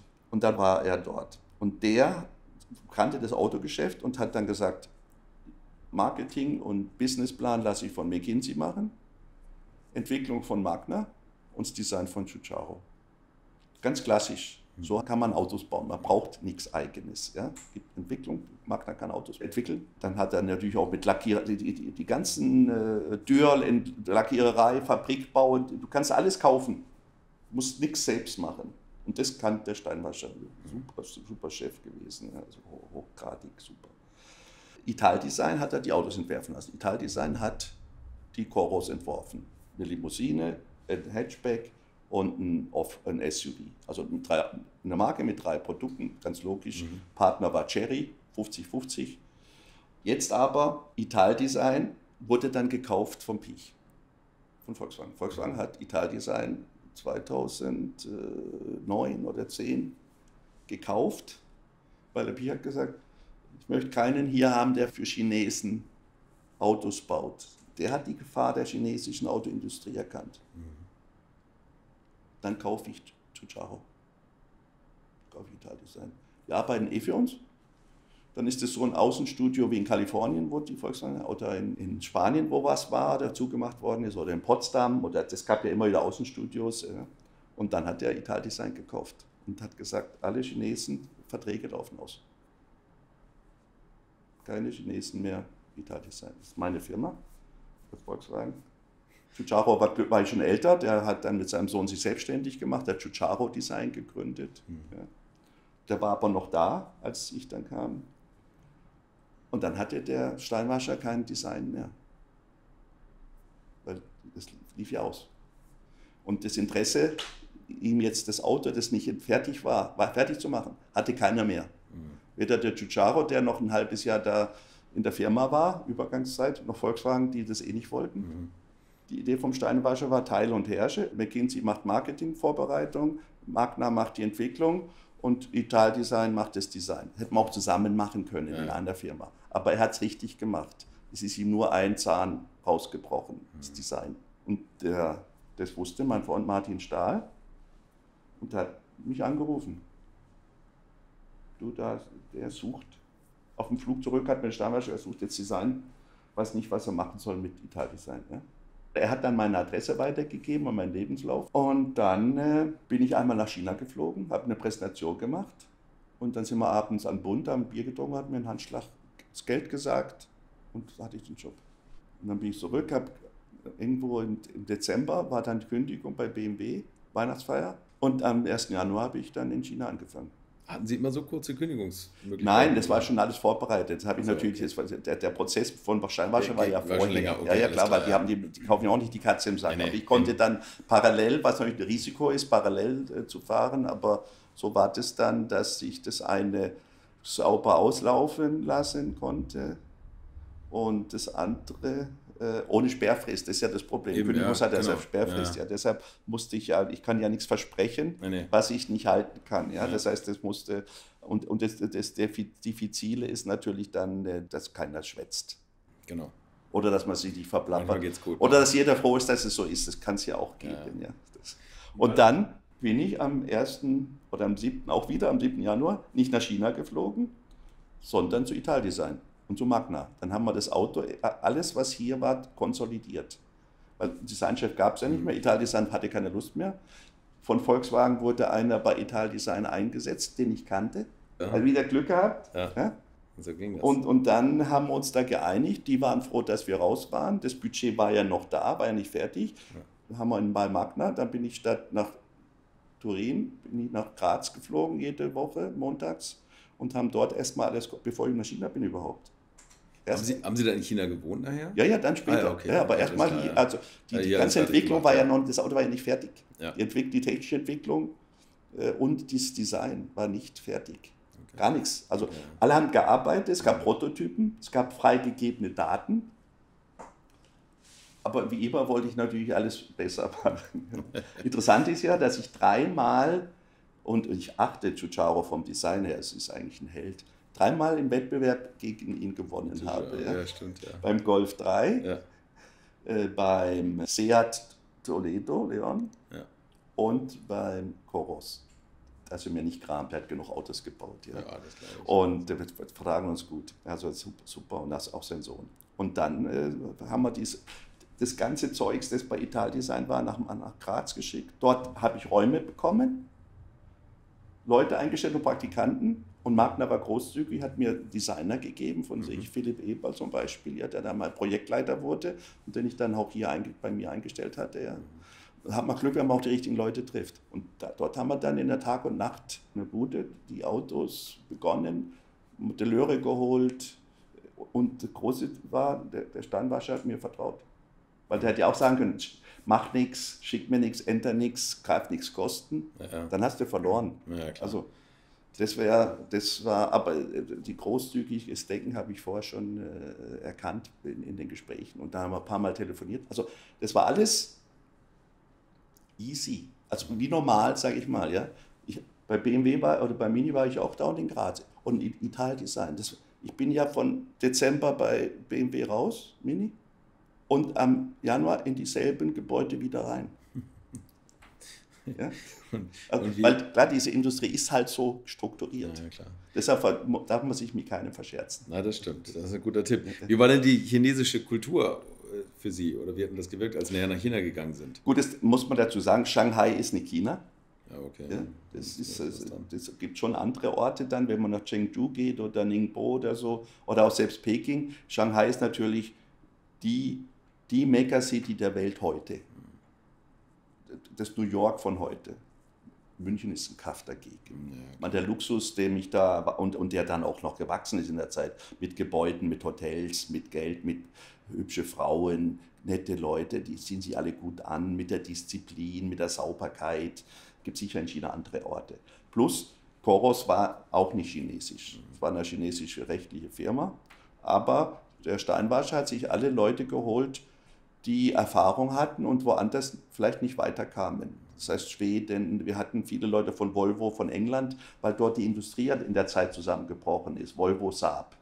Leute hatten wir, die dort auf einmal arbeitslos waren. Ja, Ja, klar. Aus England. äh, Und, und er kannte die Leute und äh, hat, die Personalfrau hat- kannte die auch. Und man kennt ja die Industrie. Und da gab es ja sowieso einen Rand nach China. Ja? Es sind ja noch mehrere, Volkswagen war ja auch dort. Und, also deshalb waren ein Großteil meiner Kollegen waren Wei- Weiße. Ja, Ja. klar. Die Fabrik stand ja noch gar nicht. McKinsey war noch drin mit Kollegen und, und so war das sehr international. Mein Designteam war dann relativ schnell chinesisch, weil die Chinesen haben einen sehr hohen Stolz, dass sie an einer guten Adresse arbeiten wollten. Auch Steinwascher hat die richtig gemacht. IFC, das, das, die Adresse IFC in Shanghai ist die erste Adresse, wo es gibt. Okay. Da beim Fernsehturm, Ja. International Financial Center, diese zwei Hochhäuser, dort willst du arbeiten als Okay. chinesischer Mitarbeiter. Wenn du das einem Freund sagst, ich arbeite im IFC, da waren HSBC, die großen Banken, die waren alle dort drin. Mhm. Wir hatten ein Stockwerk, nachher zwei dort. Teuer. Aber die Adresse hat, war richtig. Nicht billig im Hinterhof. Mhm. Nee, nee, klar, klar. Und dann haben sich alle beworben. Ja. Und so kam ich zu meinen Designern. Designer haben gesagt, Hildebrand, die kennen ja, die, die jungen Chinesen kennen alle Menschen, also alle in ihrem Berufsfeld Wichtigen. Die lesen und machen und tun. Und dann haben sie alle beworben, also alle nicht, aber viele beworben und so war das relativ schnell ein Team, 30 Designer Okay. und dann halt extern auch externe Leute, die, kann man so Modelleure oder so, so, so Kass, so Elias oder so, so 3D-Modelleure sind oftmals Freiberufler, die nicht sich anstellen lassen äh, wollen, die dann flexibler sind und auch sagen wir, mal, die Stundensätze nicht versteuern müssen und so. Die Ja, ja, Freiberuflichkeit klar, ist auch in China steuerlich begünstigt, du zahlst nur 10 Prozent, während wir haben auch 40 Prozent äh, Steuern bezahlt. Ja? Also die Steuerlast ist ähnlich wie hier. Und dann fing ich auch in einem Büro an. Als ich dann hier konsolidiert hatte, Magna lief, da waren es fünf oder sechs am Anfang, die mir Magna geliehen hatte, natürlich bezahlt, weil die liefen dann auf dieses Budget von Koros, die sie hatten als Entwicklung. Dann war halt Entwicklung und Design in einem Gebäude. Und was, was für Modelle sollten Sie da anfänglich entwickeln? Also Cor- der Chorus äh, äh, 3 und 5, also praktisch eine, eine Stufenhecklimousine und äh, ein SUV, also das klassische. Und die hatte Chucharo ja schon entwickelt gehabt. Aber natürlich Marketing wollte dann für den Hatchback einen kürzeren Radstand. Also alles so Dinge, die teuer sind und nur zur Differenzierung und nichts helfen. Ja. Ja. Da habe ich dann konsolidiert mit selben Radstand, selben Türen. Das ging dann alles viel schneller. Also mein Wissen hat, hat dann auch dann natürlich, zum Glück habe ich da ja Erfahrung gehabt. Und die wurden alle drei äh, entwickelt und gebaut und produziert. Und dann wurde die Firma verkauft. Und dann ist sie beendet worden. Die Firma wurde an einen Immobilienkonzern verkauft, weil die Immobilienbranche war eine Blase und wurde von der Regierung auch kritisch betrachtet, was passiert dort. Also mussten sich die oder dachten sich oder haben viele von diesen Immobilienfirmen sich noch ein zweites Standbein gemacht. Zum Beispiel unsere, die uns gekauft hat, dann bin ich dann aber weggegangen, hat gesagt, wir haben Immobilien, chinaweit, und die hatte noch eine Leasingfirma aus Finanz, so eine Art Bank und Versicherung. Wenn wir jetzt das Auto dazu haben, können wir Autohändler leasen und wir haben alles in einer Hand. Und wir verließen nur, weil das war, der, das war dann der Fehlgedanke. Da wir Leasing machen, machen wir nur Leasing. Mhm. Das war ein Le ja, ja. Okay. Und dann hat geleast hat dann keiner, weil der Chinese würde auch am liebsten Eigentum besitzen. Hat, hat in der Zeit, wo es die aufstrebende Zeit, ja. Und dann haben die das gekauft und haben daraus äh, dann ist da nicht geleast worden und dann ist nichts mehr gebaut worden. Und wenn du jetzt noch in Google guckst, stehen da die ganzen Autos auf der Halde. Ja. Das war, ist, ist eigentlich traurig. Aber es ist halt Struggle for Life, Darwin, äh, Kulturdarwinismus oder Design-Darwinismus. so ist es manchmal, ja. ja. Genau. Äh, da, haben ja, da gab es ja hunderte von Firmen. Ja. Ja. BYD haben wir damals belächelt. Ja. So, und jetzt? Ja. Volkswagen kauft jetzt X-Pain. Also man sieht ja auch, das ist eine riesige. Die Japaner haben es geschafft, die Koreaner haben es geschafft und die Chinesen sind 10 oder 20 Mal größer als Japaner und Koreaner zusammen. Wieso sollen die es nicht schaffen? Die chinesischen Autofirmen haben hier überall schon Showrooms. Ja, natürlich. Allein die Abnahmemengen im eigenen ja, Land ja, sind ja immens. Das merkt ja gerade VW schmerzhaft. Aber vor allem haben sie natürlich eins. Sie haben den absoluten Willen der Herrschaft. Die wollen ihre Kulturscharten aus der Kolonialzeit auswetzen. Mhm. Diese Erniedrigung vom letzten angefangenen Jahrhundert. Tod der Kaiserin oder die Kaiserreich abgeschafft, die Kolonialzeit, Opiumkrieg, das haben die nicht vergessen. Mhm. Und jetzt haben sie die Macht und dann haben sie die Kulturrevolution und die ganzen Kriege, die, der Zweite Weltkrieg, der ja China zerstört hat mit, mit Japanern, dann die Kulturrevolution, der, große, der, der lange Marsch, äh, der große Sprung mit der ganzen äh, Abholzung der Wälder. Die haben mal viele Fehler gemacht unter Mao und dann haben sie es konsolidiert und äh, Wohlstand. Äh, Wohlstand bedeutet Freiheit, hoffe ich. Also meine Leute haben es jetzt nicht äh, diktatorisch äh, bestimmt gefühlt.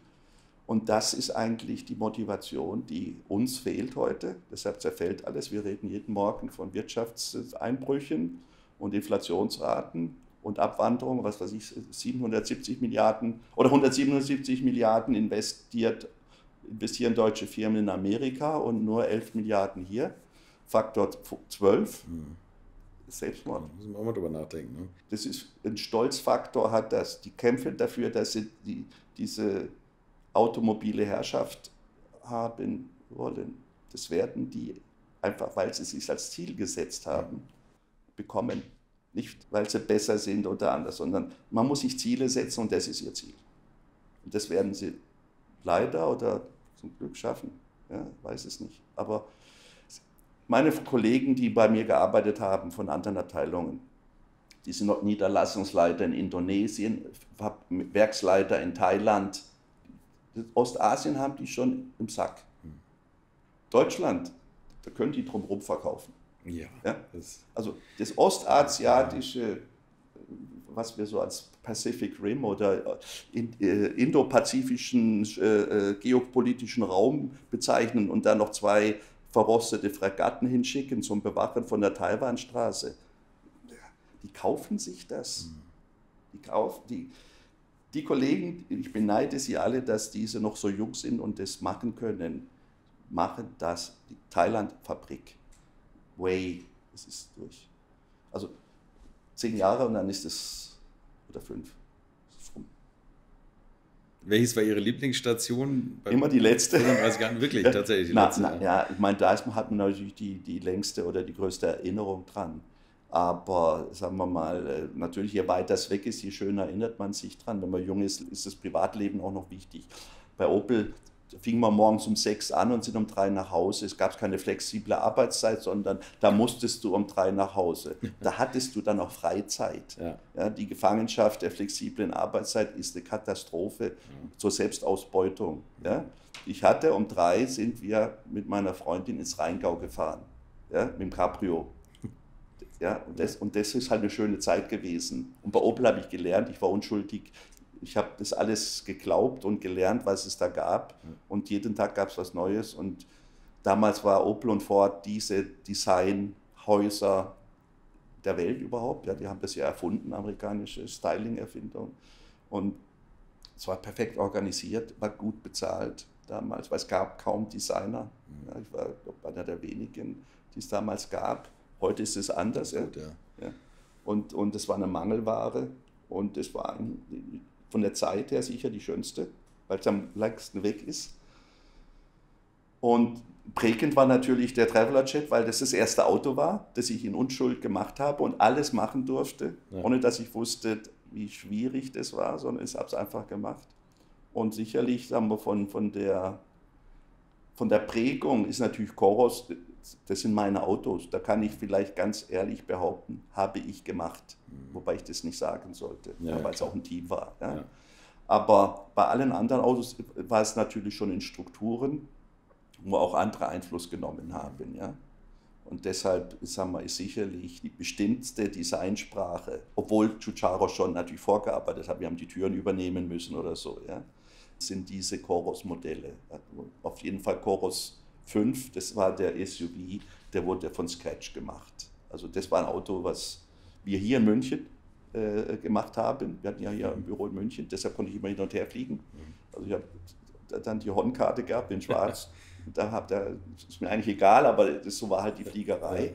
Und da wir viel in Deutschland und die Lieferanten von uns waren natürlich auch alles europäische Lieferanten, Bosch, ja, äh, Siemens, äh, McKinsey, äh, Magna oder so. Das, wurde, ja, das ist ja ein weltweit umspanntes Familie von Autobauern, die es halt alle auch nach China müssen oder gezwungen wurden, auch schon zu meiner Zeit, dort entsprechende Abteilungen aufzumachen. Sonst kriegen sie dort die Geschäfte nicht. Die mussten alle Gründungen machen. Ja, genau, und so Kooperationen ja, eingehen. Kooperationen.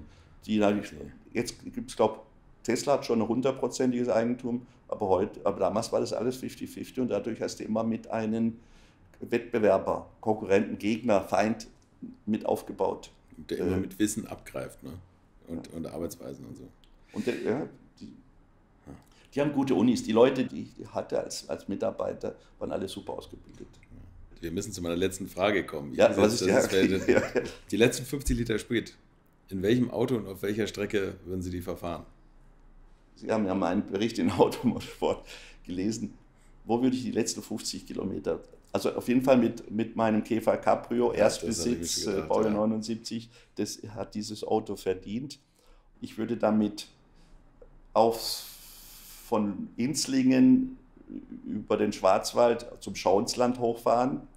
Das sind noch keine 50 Liter. Und dann so hochfahren, dass ich dann nochmal 50 Kilometer im Leerlauf runterrollen kann.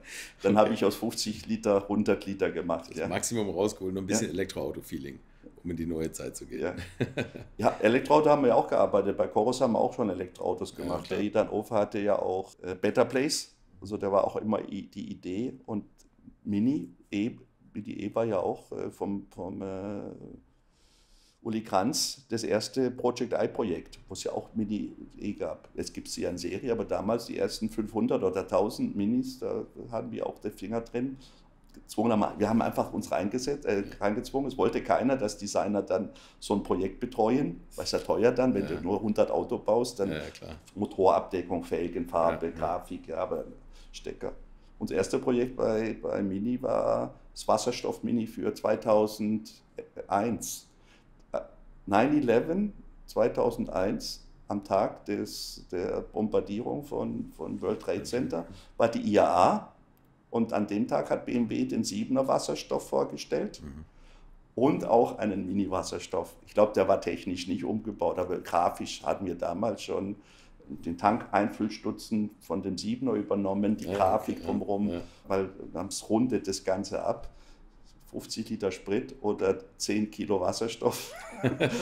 Äh, das war das, auch das erste Projekt, mit das erste Projekt bei, bei Mini, diesen Wasserstoff-Mini zu machen. Der dann leider äh, äh unglücklicherweise zu diesem 9-11 IAA äh, vorgestellt wurde ist, äh, und untergegangen ist in den ganzen in den, in den Nachrichten, Entscheiden ja, und dann auch in den nachfolgenden Viren der ganzen Kriege, die daraus entstanden sind. Ja. Die Welt hat sich von da an dramatisch verändert. Das hat man damals gemerkt und leiden heute noch drunter. Ja. Das stimmt. Herr Hildebrand, vielen, vielen Dank. Das ist ja wirklich ein ganz buntes, facettenreiches Berufsleben, was Sie da erlebt haben oder erleben durften. Und äh, ja, toll, dass Sie das so viel heute von erzählt haben. Vielen ja, Dank. Gerne. Ich bedanke mich selbst und bei allen, die mir auf diesem Weg geholfen haben. Das war Gerd Volker Hildebrand und ihr habt vielleicht gemerkt, dass meine letzte 50-Liter-Frage etwas plötzlich kam. Leider war die Zeit am Ende und mein üblicher 2-Stunden-Puffer nach hinten raus war auch komplett aufgebraucht, aber manchmal ist das so. Falls ihr immer noch nicht genug von meinem Gast habt, dann empfehle ich euch ein Buch, an dem er mitgewirkt hat und das besonders für Minifans interessant sein dürfte. Mini Design heißt es, ist im Motorbuchverlag erschienen, allerdings kann man es nur noch gebraucht mit Glück finden. Ich habe noch eins bekommen, aber ich gebe zu, da lief vorab auch kein Podcast mit diesem sympathischen Autoren und ich drücke euch die Daumen, dass ihr vielleicht noch eines bekommt. Und falls ihr eines haben solltet und es jetzt auf meinen Tipp hin verkaufen wollt, macht es bitte nicht zu teuer. Habe ich alles schon erlebt. Bis nächste Woche, bleibt gesund. Infos, Bilder und alles Wissenswerte unter der Internetadresse www.alte-schule-podcast.de